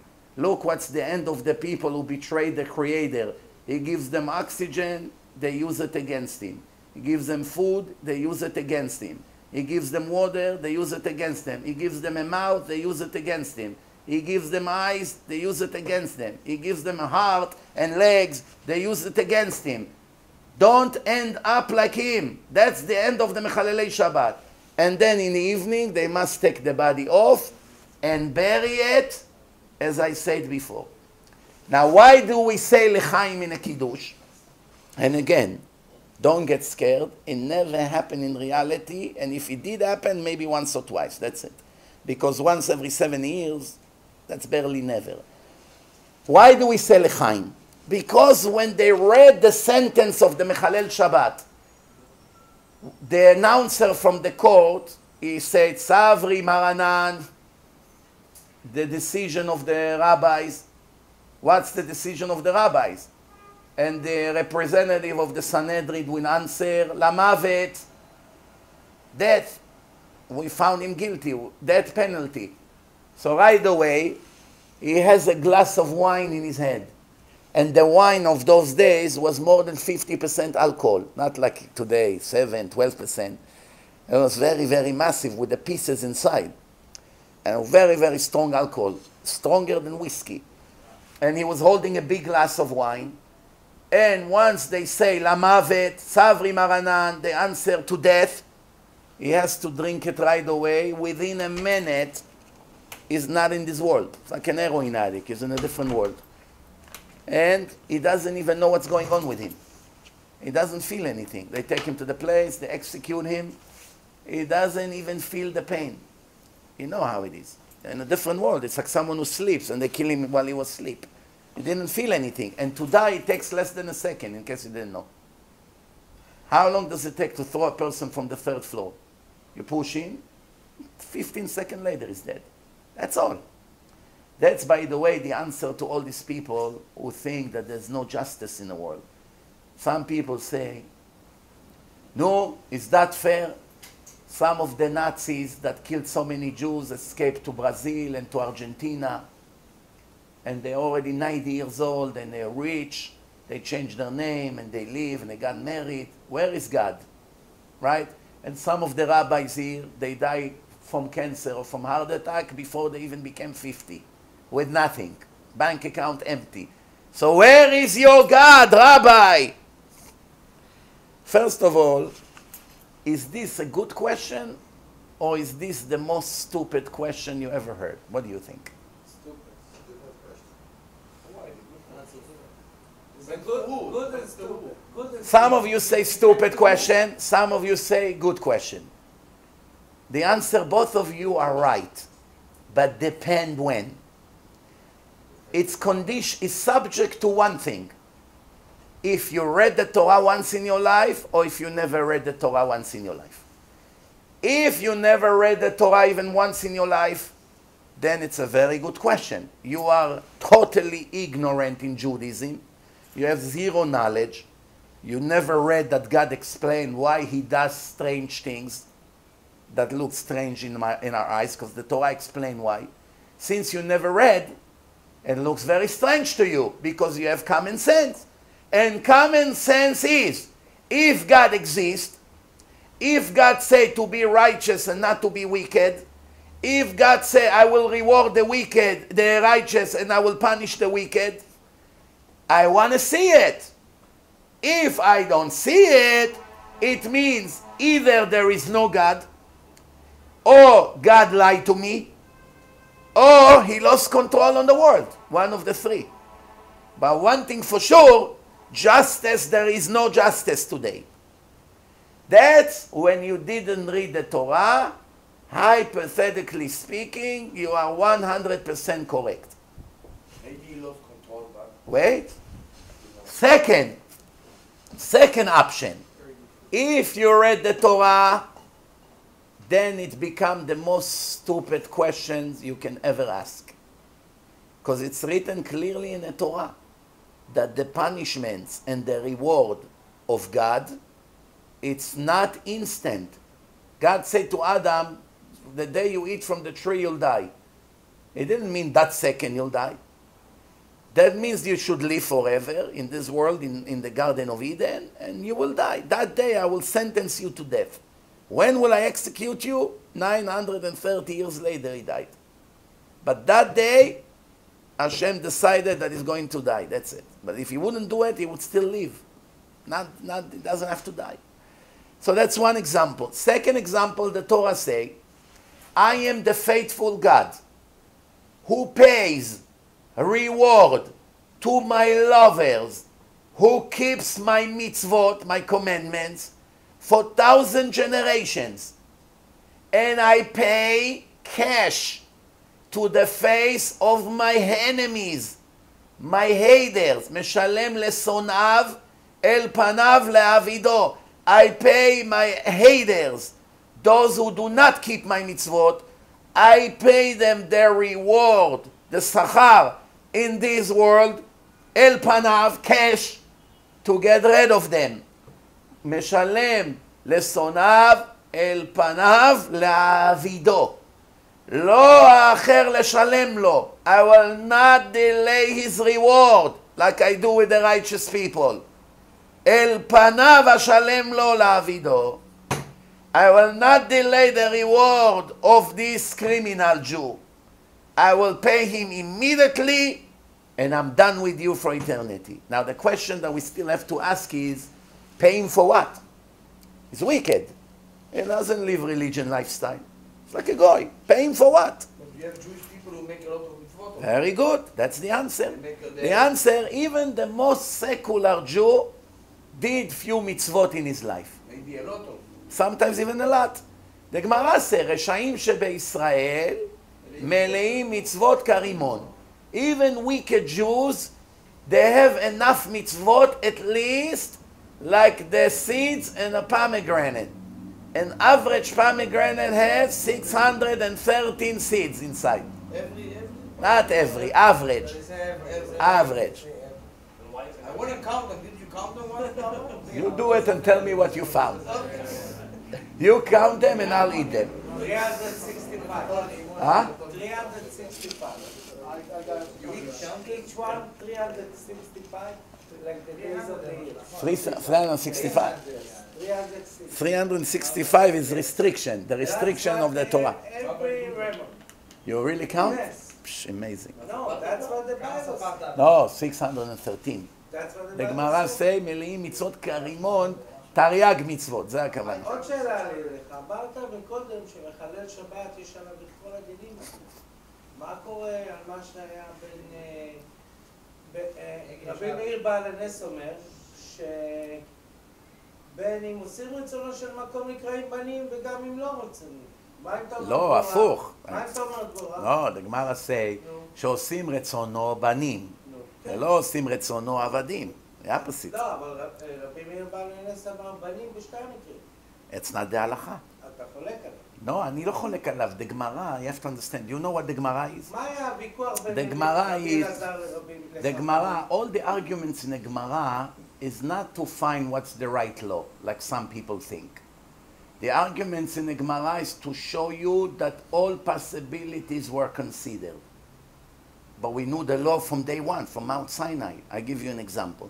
The Gemara argue, what does it mean etz pri hadar? The Torah said on Sukkot you have to take arbaat aminim. One of them citrus. The Gemara say a beautiful fruit. It doesn't say the word etrog. So now you have a discussion in the Gemara. One say pepper. One say grapes. One say etrog. One say chita. What's the connection? why do you think that the, all the Jewish people did not make Avra, Arbat Aminim for 1,500 years before the Talmud started? From Moshe Rabbeinu until the Chachamim of the Talmud, every year they had Sukkot and they did Arbat Aminim with etrog. So why they sit now in Yeshiva and everybody brings a different Pasuk to try to prove that the Trog is something else? Why? Anyway, they cannot change the law. For 1500 years, everyone used etrog. Mama, you're going to change it to grapes now?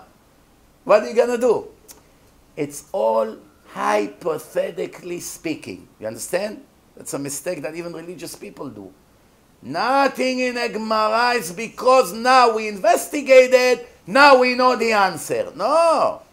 We knew the answer all along.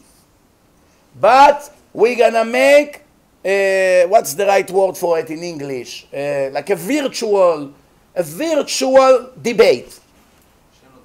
It's like, uh, it's like I know the answer, but I'm asking my two sons, what do you think is the right way I should do it? And I already know what code I have to do. It's only one option. He's trying to prove that you should do it like this. And I say to him, prove him wrong. And he goes and look in the books and he say, oh, here, I can prove that you're wrong. Answer him and he finds another answer, and he brings him. Answer him back. Answer him back. Answer him back. A third son come. After they said everything on the table, I say, Alacha him. That's what the way we do it. And we knew it even before he started the argument. We don't need you. We know it from Moshe Rabbeinu. We've been doing it for 1500 years every day. But we didn't know how to put tefillin. We know how to put tefillin, right? So why the Gemara has all kinds of questions about tefillin? How to do, what to do. What's, When we are putting tefillin, we do for Moshe Rabbeinu. היה לו אותו לידך תפות בין עיניהם. from Moshe Rabbeinu. Right away they make tefillin from the animals. All handmade. In the midbar? הנה מדבר, 100%, handmade, not beautiful. Before the Torah? Not beautiful, no, the- after the Torah. After we get it. After we got the Torah, not beautiful like the tefillin you have now. Because the tefillin that we have now, they have a lot of measurement tools and all kinds of machines. But it was, it was primitive. The belts was not so straight and nice and, you know, fine. But it was still tefillin. With the, with the writing, with the ink, they take all kinds of things and they make... They have tefillin from thousand years ago? They found tefillin from 2,000 years ago. Wow. in Israel, in the ice, very deep in the ground. So let's continue. Let's continue. Uh, okay, so in the old days, they used to say Lamavet, and they take him right away to execution. So we, that we now do Kiddush, and Shabbat is giving us life, like he said before. So we say Savri Maranan. The same rabbis who say Lamavet, they say to do Kiddush on Shabbat. Savri Maranan, and we all say Lechaim. God forbid, not Lamavet. You understand? Okay, so that's the answer to that. There's anything I left open? You said we are like the, the wine. Oh, so I started to explain why we are like the wine. Why we are like the wine. So the answer is, shh, the answer that we are like the wine. The wine, everybody step on him, and in the end, the wine step on you. One big glass, and you're on the floor. Right? So the Jewish nation in this world, all the goyim step on their head constantly. Unconditional, constant anti-Semitism from day one until today. When did the anti-Semitism started? Who knows? Avraham Avinu. They blocked his wells. Avraham Ivri. This rich Jew, the Avraham Ivri is coming, is wealthy like this. They went and blocked his well. Yitzchak, his son, same thing. He dug wells. They go in can and put sand and closed it. Then he went to Avimelech. He said, "And I didn't know who did such a thing to you. Same story like today. Who did it to the Jews? On one hand, Trump, I love Israel, I love the Jews, my grandchildren are Jewish. On the other hand, the Nazis that they did whatever they did over there a month ago, he didn't want to condemn them. It's political. Politically. Why? I need them. Next election, they'll vote for me. Why should I lose them? There's a lot of politics. The halacha, the Gemara say, Esav soneh leYaakov. And everybody asks, what does it mean halacha? Say reality. Reality, most of the Goyim hate Jews. In the Arab countries, more than 90% admitted in a United Nations survey a year ago that they all, almost all of them hate Jews, even though almost none of them saw Jews. The only one who see Jews on a daily basis are Palestinians. There, there, there are Arabs in Iraq, they never saw one Jew in their life. They're 30 years old. There's no Jews in Iraq for 30 years. Or in Syria, they never saw a Jew. In Saudi Arabia, there's not one Jew. Morocco is the only place. Morocco. Morocco is the only place that only 80% say they hate Jews. Meaning 20% of the Muslims in Morocco do not hate Jews. It's a miracle. One out of five. The lucky, we lucky that in Morocco the king is good to the Jews and his father and his grandfather. The Jews did a lot of great for them, and they're not ungrateful. And not only that, every Jewish visitor who comes to Morocco, there is silent detectives in the airport. Did you know that? The king put detectives in the airport. As soon as Jews come out, either with yarmulke or tzitzit or Israelis who speak Hebrew, they follow them the entire trip to protect them. Did you know that? That's what they do. So it's very interesting. Why don't touch the Jews? Because they know the blessing of Morocco comes from the Jews. You should know one thing. All the countries that opened their doors to the Jews and allowed them to live there, they all became centered, very wealthy countries and powerful. Starting back, Babylon. The Jews went to Babylon, to Iraq. They were the empire of the world. Romans, Greeks, everyone who occupied the Jews, and the Jews live in their place and they allow them to live, all this became the biggest empires. Egypt, when the Jews live in Egypt, Pharaoh, thanks to Joseph, controlled the whole world, all the financials. In Iran, before Khomeini came, it was the Iranian Shah. It was very good to the Jews. The Jews until today all love him. The Jews were the wealthiest people in Iran, controlling everything. They were mamash, each one of them was like a king. As soon as Khomeini came and started to torture the Jews and they started to run out, Iran became homeless. Most people there have barely what to eat. Thanks to Obama, they got 150 billion dollar a year ago. Obama helped them out. He gave them a nice check, 150 billion, that they can destroy the world. Obama. No, there was no leader in history that was worse than Obama. In America, I mean. Never. He is the worst one, and the second worst one was who? Carter. Very good. היה שונא ישראל, זה שונא The two biggest. Don't worry about it. דאבל According to what you said, רגע, wait. Yes. Oh, now, לב מלך ביד השם. oh, now, now he's, you know what he's doing to me now? Using my own words against me, like they say to you in the police. Everything you'll be say will be used against you in a court of law. But he didn't know that I already prepared an answer from him before I even sat down here. So I'll tell you the answer. You're right. The heart of the kings is 100% in Hashem's hand. Obama that decided to throw the Jews out of the home and give it to the Hamas, it was not Obama's decision. It was God's decision. So why Obama will get a huge punishment for that in hell? Beautiful. See, you answer the same your own question. Because it's no coincidence that Hashem chose such a corrupted, liberal, rotten, anti-Torah values like Barack Obama to be the one who execute the Jews. It's no coincidence. Same thing he chose this monster Hitler yimach shemo and the same thing he chose Saddam Hussein, and the same thing he chose uh, Paro, and the same thing he chose all the uh. No coincidence that evil people become the executor. And if God forbid you ever kill a person by an accident, even though you're not guilty, he jumped into the road, or you didn't see him, if Hashem used you to execute a person, it's a sign that Hashem is not pleased from you. Why will He use your hand to kill a person? Why, why do you make me the executor? I don't want. That's one of the reasons why the Chachamim they did not want to execute anyone. It got to a point that the Chachamim moved Sanhedrin from Bet HaMikdash to Yavne. They didn't want to sit in Bet HaMikdash.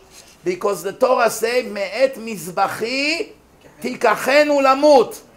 You take him directly from Bet HaMikdash, where the altar is, directly to the execution. So the Chachamim say, let's treat God in a kosher way.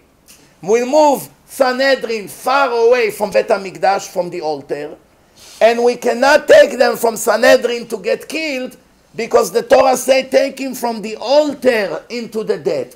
And there's no altar in the city of Yavne. So we have to let them go. Sounds like a cheap trick. Yeah. But they didn't want to kill. They did not want to execute. What kind of rabbi want to take a Jew that is not religious and kill him? It's, But you- I don't want to be an executor. You can al- always make tshuva also. There's So also an answer. you can, if you do tshuva, everything I say, forget about it. You become a different person. Let me quote to you the words of the Rambam. אתמול, yesterday, before you became religious, היה שנוא, היה משוקץ, מתועב בעיני השם, מרוחק. Yesterday you were hated, despicable, far, pushed away from God. And today you are loved and welcome and close and friends. Yadid. Yadid. You know what Yadid means? What Yadid means in Hebrew? Yadid means friend. Why does it mean friend? Because it has two words in it. Yad, yad. Yud daled, yud daled. How do you show friendship? You shake hands to someone. Yad and yad together. Yadid. How much is yad in numeric value in Gematria? 14. Ar- 14. And 14 together, 28. Koach. Power. Friendship. Unity creates power. Lack of unity. You can be the best team in the world in football, basketball, whatever. If the players hate each other, finish. If you're not the greatest, but everyone die for each other, same thing in a war, you will succeed. The Gemara said David HaMelech, in his generation, people were righteous, but they didn't win all the time. Achav, everyone was wicked, idol worshipping, a lot of bad people. They always won. Why? All of them were united. Unity brought them success. By the time of David HaMelech, there was no unity between everyone. Sometimes they lost. When there is unity, you have special blessing from God. So now, to finish, Why? why else Israel is compared to wine? Why else?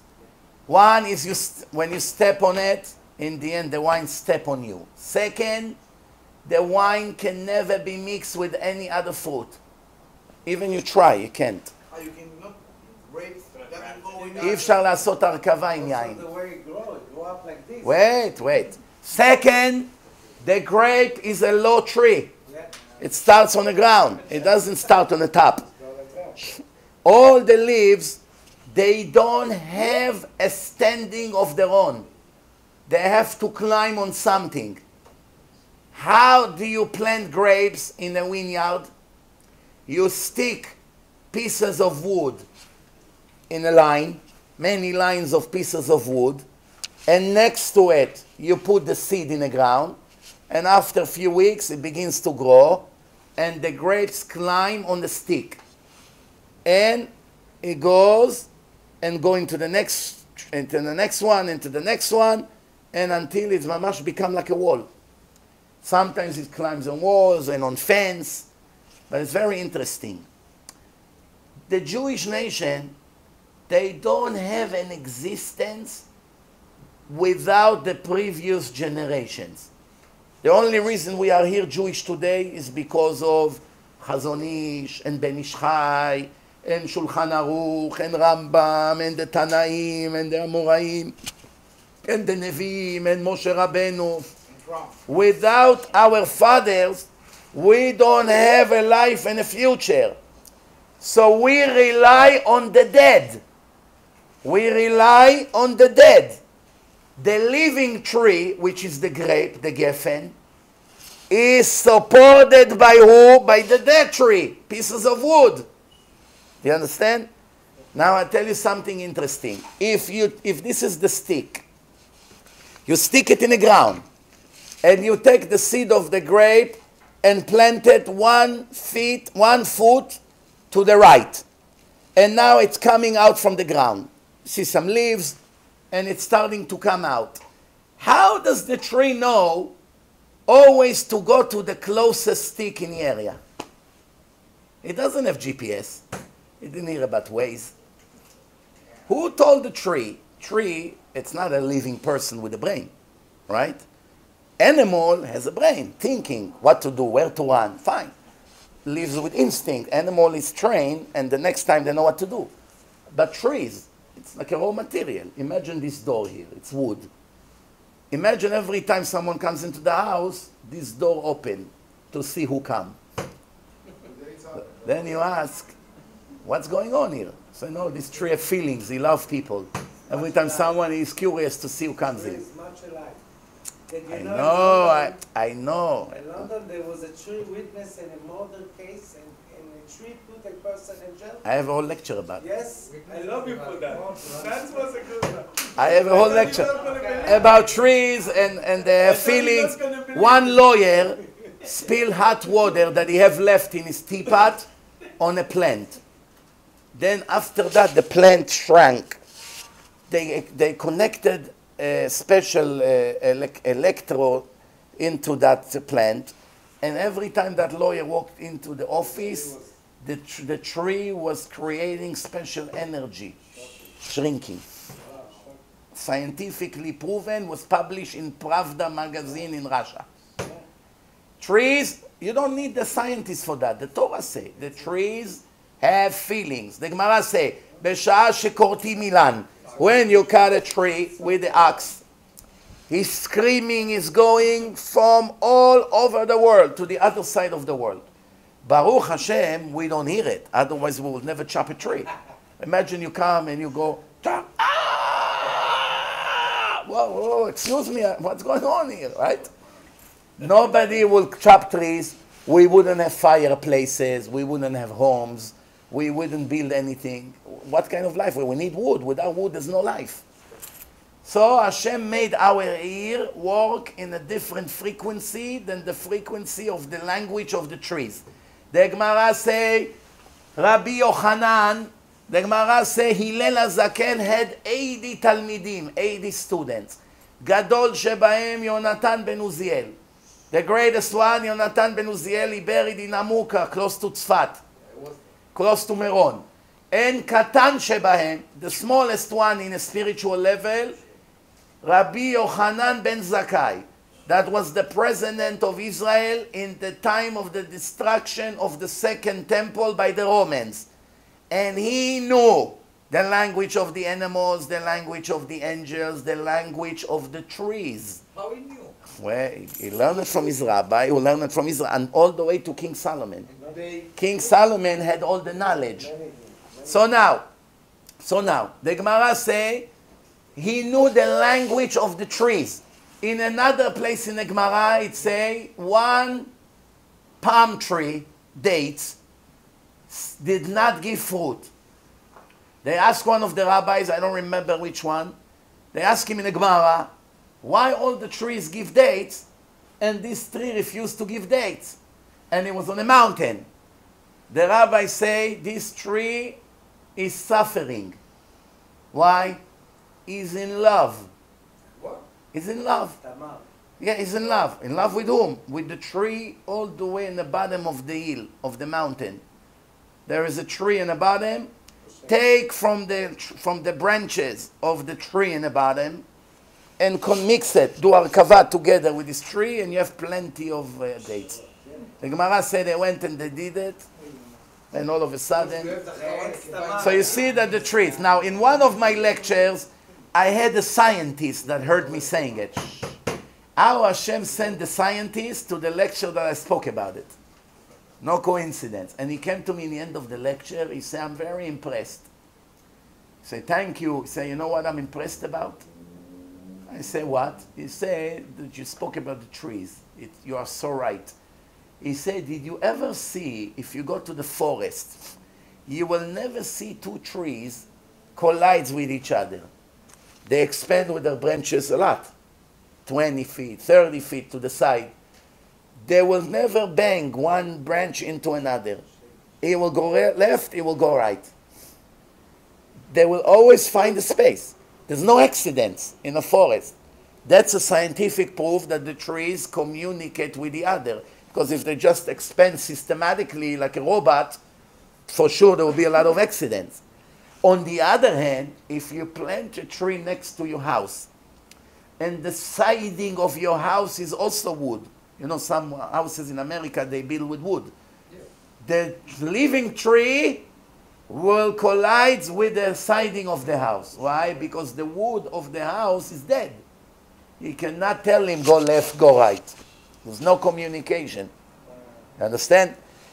So, one other reason we are similar to the Geffen, to the Geffen, what is it?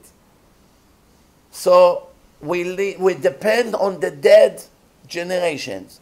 Without them, we have no existence. I started to ask if you plant a, tr- a piece of wood here and you plant the seeds of the Geffen one foot to the right, it will start coming towards the stick and will climb on a stick like it has eyes.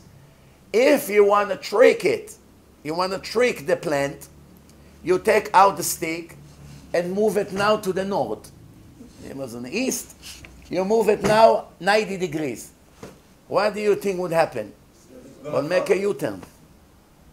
Will turn and go over there. Clear evidence that the trees, no, no wonder the Torah says, It's a lot of mutual things between man and the tree. Jews are anavim. Jews are anavim, yes. Now, now, shh, now, since I was asked to say a few words about Shalom Bayit, you know, Shalom Bayit, you can speak 1,000 years straight. How many things we are doing wrong. There's only one problem. No matter how much you speaks about it, somehow It it seems that you're talking to the wall. It only helped for a day or two, and that's it. I used to give a lot of lectures about Shalom Bayit. I even spoke to a lot of couples and made more beautiful peace between them in harmony. But it only works for a week or two. And then people go back to their bad habits. So I'm going to give you the best tip in life. If you do it, you will always have Shlom Bayit. If not, you will never have Shlom Bayit. One tip. I can give you thousands of tips, but I'm giving you the best one. You can never have Shlom Bayit if you don't work on your bad midot. If you fight now with your own negative traits, your bad midot, you will always have Shlom Bayit. If you live naturally with your bad midot and accept it, you will never have Shlom Bayit. I'll give you an example. You and your wife, if both of you will work on their ego, I'm not here in the world for people to bow down to me, to cook for me, to serve me, to tell me how great I am. No. God put me in this world to give, not to take. Whatever I get, it's a bonus. That's not the purpose of my creation. You are in this world to give. That's why the poor person, right, that receive donation from the rich, the Gemara said the poor is doing a favor to the rich, not the rich to the poor. That's the law. Why? Because the rich person that giving is actually taking. He's taking that money with him to the life of eternity when he dies. Everything you take will leave you when you die. Everything you give will go with you to the next world for eternity and continue to create reward for you. That's the rule of the Torah. That's why the Torah say, "Khu li truma," not "Nu li truma." "Khu li." "Khu" means to take. Take donation to me. I mean, from me. What? Uh, you're supposed to give me donation, not take from me. When you give, it counts like you take. So now, if the husband work on his ego, I'm nothing, who am I? Who am I? I don't know Torah. Shh. I'm not so smart like I think. I'm nothing. Everything I have anyway, God gave me. There are many smart, smarter people than me, they don't have what I have. I became a successful lawyer or a doctor or a businessman. My friend in class was a lot smarter than me and he didn't make it. He couldn't find a job or he found a lousy job and he gave up. We see it thousands of times. Everything I have is because Hashem wanted me to have it. So why do I take credit for it? Everything I learn is thanks to Hashem. If He wouldn't give me the brain I have or the patience I have, I would not be able to do it. Many people tried, but they, they couldn't do it. So basically, everything I have is not from me. So what's to brag about?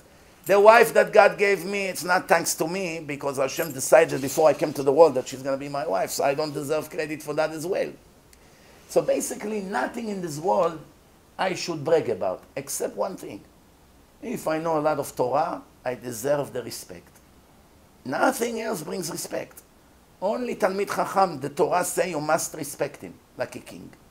No one else. The Torah didn't say to respect big doctors. Nobody ever respected the Rambam from being the best doctor in the world. They respected him because he's the biggest rabbi in the world. Doctors are great, yes. Are they smart? Usually, yes. Are they productive and saving life? Yes. They deserve round of applause? Yes. They deserve respect compared to the rabbis and the Talmidei Chachamim? Zero. Zero respect. The only one besides the rabbis that the Torah say to respect is kings of countries, presidents, kings. Why? If I put him in charge of this country, you must give him respect. That's it. The Torah didn't say to give respect to rich people, big, Respect the Ashirim means because Hashem gave him a lot of money. That means Hashem wants him to have the money for a good cause, but not the same respect like the rabbi. If a rich person come into the shul, you don't run to kiss his hand. A rabbi come, you come, you kiss his hand. Rabbi, rabbi sit on a chair, you never ever sit on his chair. A rich man sit in a chair. When he's not there, you sit in his chair. You don't have to give him respect like you give to a chacham. So the point is like this. If the husband is humble and the wife became humble and the husband walk about his anger, I'm not going to ever be angry. Why? The Torah says if you get angry, you be- you're an idol worshiper. You're equal to an idol worshiper. You don't believe in God. The Torah says horrible things about angry people. I have to work on my anger. I have to manage my anger. No more anger. Everything from Hashem. Everything from. I can never ever get angry again. I'm fuming. I go out to the street that I don't continue the fight. שומעים חרפתם ואינם משיבים. People abuse you, people upset you, people insult you. Don't answer. Not that you don't have what to answer because you coach, they caught you red-handed in the middle of a crime. No. You have all the answers in the world to, uh, to answer this arrogant person, and you don't even answer back. Let Hashem takes care of him. That's a very high level. שומעים חרפתם ואינם משיבים. The Rambam was on a boat with all the goyim. One Arab came and made his bathroom in his face while he was sleeping. He got up, he went and washed himself and didn't say a word to him. How many people here in a room would be able not to say a word if you lay down in a boat and someone come and make his bathroom in your face? Wouldn't you make a police report, a lawsuit, claim against the company, against the board, or if you have a knife, you would stab him to death, Tell me to death. right? This is that joke. Rabbi, but sometimes it's easier to do with people that you see them now, then you leave, whatever, you don't see them anymore. But with neighbors, you can't let them because it's only gonna be worse, you know? Some things you can. Many of the things with neighbors, even with neighbors, if you let go once or twice and you apologize, he lose the desire to fight you. I'll give you an example. If you have an enemy, 10 years, you speak against him, he speaks against you, you- he doesn't want you to come, you don't, want, you don't want him to come. You have mutual friends. Every time they invite you, they have to worry not to invite him. Or when they, it's a problem. It's, you know. If one time, when you see him on the street, you run to him, say, hey, Itzik, I'm glad I'm meeting you here. I wanted to apologize to you for all the bad things that happened between us. I really don't, don't hate you. I like you. You're a good man. I know you're good. I know you meant well. I also meant well, but I made a mistake. Please forgive me. Let's be friends. What's this between us? Let's shake hands and be friends. What, what's the point? What, what are we going to gain? Not liking each other. We're making Hashem upset. Two of his children are fighting. You agree to forget everything? You know what? Why not? Yeah, I give you the hand. It's over. You save now millions of Lashon Hara, fighting, gossip, violence, torturing people. So here you go, when a person puts his nose down and he goes to someone to apologize, even though it should have been the other way around. He should have come to him. It's his fault. But what did you lose besides bringing your ego down and having pain in your heart because your ego is killing you? It's all about ego. If you don't have ego at all, you feel like you're nothing, you're smartut on the table. Then when people step on you, you don't get offended. You only get offended because you feel like you're a big shot. You're a big shot. One person was praying next to Rav Ben Zion Abba Shaul. מה אני, מה חיי, יום כיפור, הוא עושה וידוי.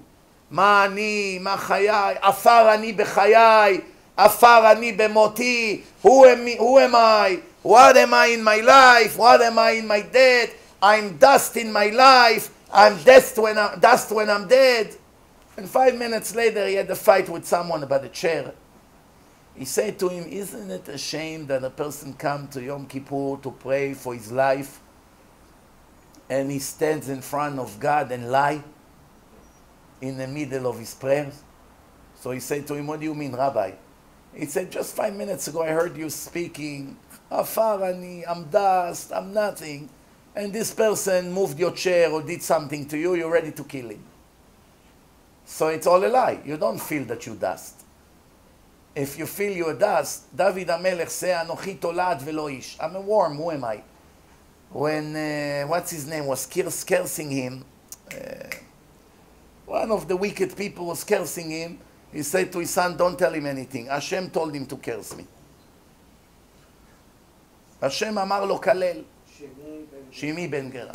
Hashem amar lo kalel. The king, the smartest person, the holiest person that wrote Tehillim, and this low life will curse him like this, like a dog? Leave him alone. Could have killed him right there. Guards, take him to execution. He didn't answer. He didn't do anything. The idea is, Rabotai, between husband and wife, if you work and fix your midot, you will never fight with her once in 20 years. All the fights between husbands and wife, it's about authority. Disrespect, lack of attention, fighting about authority. You want to force your opinions on her. She wants to force her opinions on you. You want to force your control on her. She wants to show you that she won't surrender to you. She makes more money than you. You make more money than her. You feel she lives thanks to you. She feels she, you live thanks to her. You know, all this nonsense. And therefore, it creates a lot of fights and disrespect. By a man, the tip is no anger, show a lot of respect, give 20 compliments at least a day to your wife. Great. Wow. The laundry smells so great. How do you do it? Who- cares about the laundry now? The wife care. She stood for half an hour, an hour in a laundry room. Every day you say to her, Ah, thank God I have such a Eshet Chai like you. The shirts are always ready. You bring them from the cleaners. You go to the bank. You save me so much headache. You're cooking so well. Your food is so delicious. You are. Shh. They're not married. That's why they talk. The housekeepers, the housekeepers. Now, so now, shh. No, now, the food is so delicious. She made something. How do you do it so good? Even if it's not so delicious. Even if it's not so delicious. How do you do it so good? Very good. I will tell my sister to get the recipe from you. Maybe she will come to you to learn a little bit. Or in a table when the guests come and they say, and they say wow, you know, this and that. You say, all oh, thanks to my wife. What a, look how much she, she bothered to prepare such a meal. Bottom line, women needs attention. Women and children must receive attention because they operate from the heart. And the more you show them that they're important, the more they're willing to die for you. It's written in the Torah, Ve'el ishech tshukatech v'u imshol. You desire your man, your man is your whole world, and he will dominate you and control you, but if a man will disrespect the woman, it would kill the love she have to him in one minute. One. I tell you what I mean.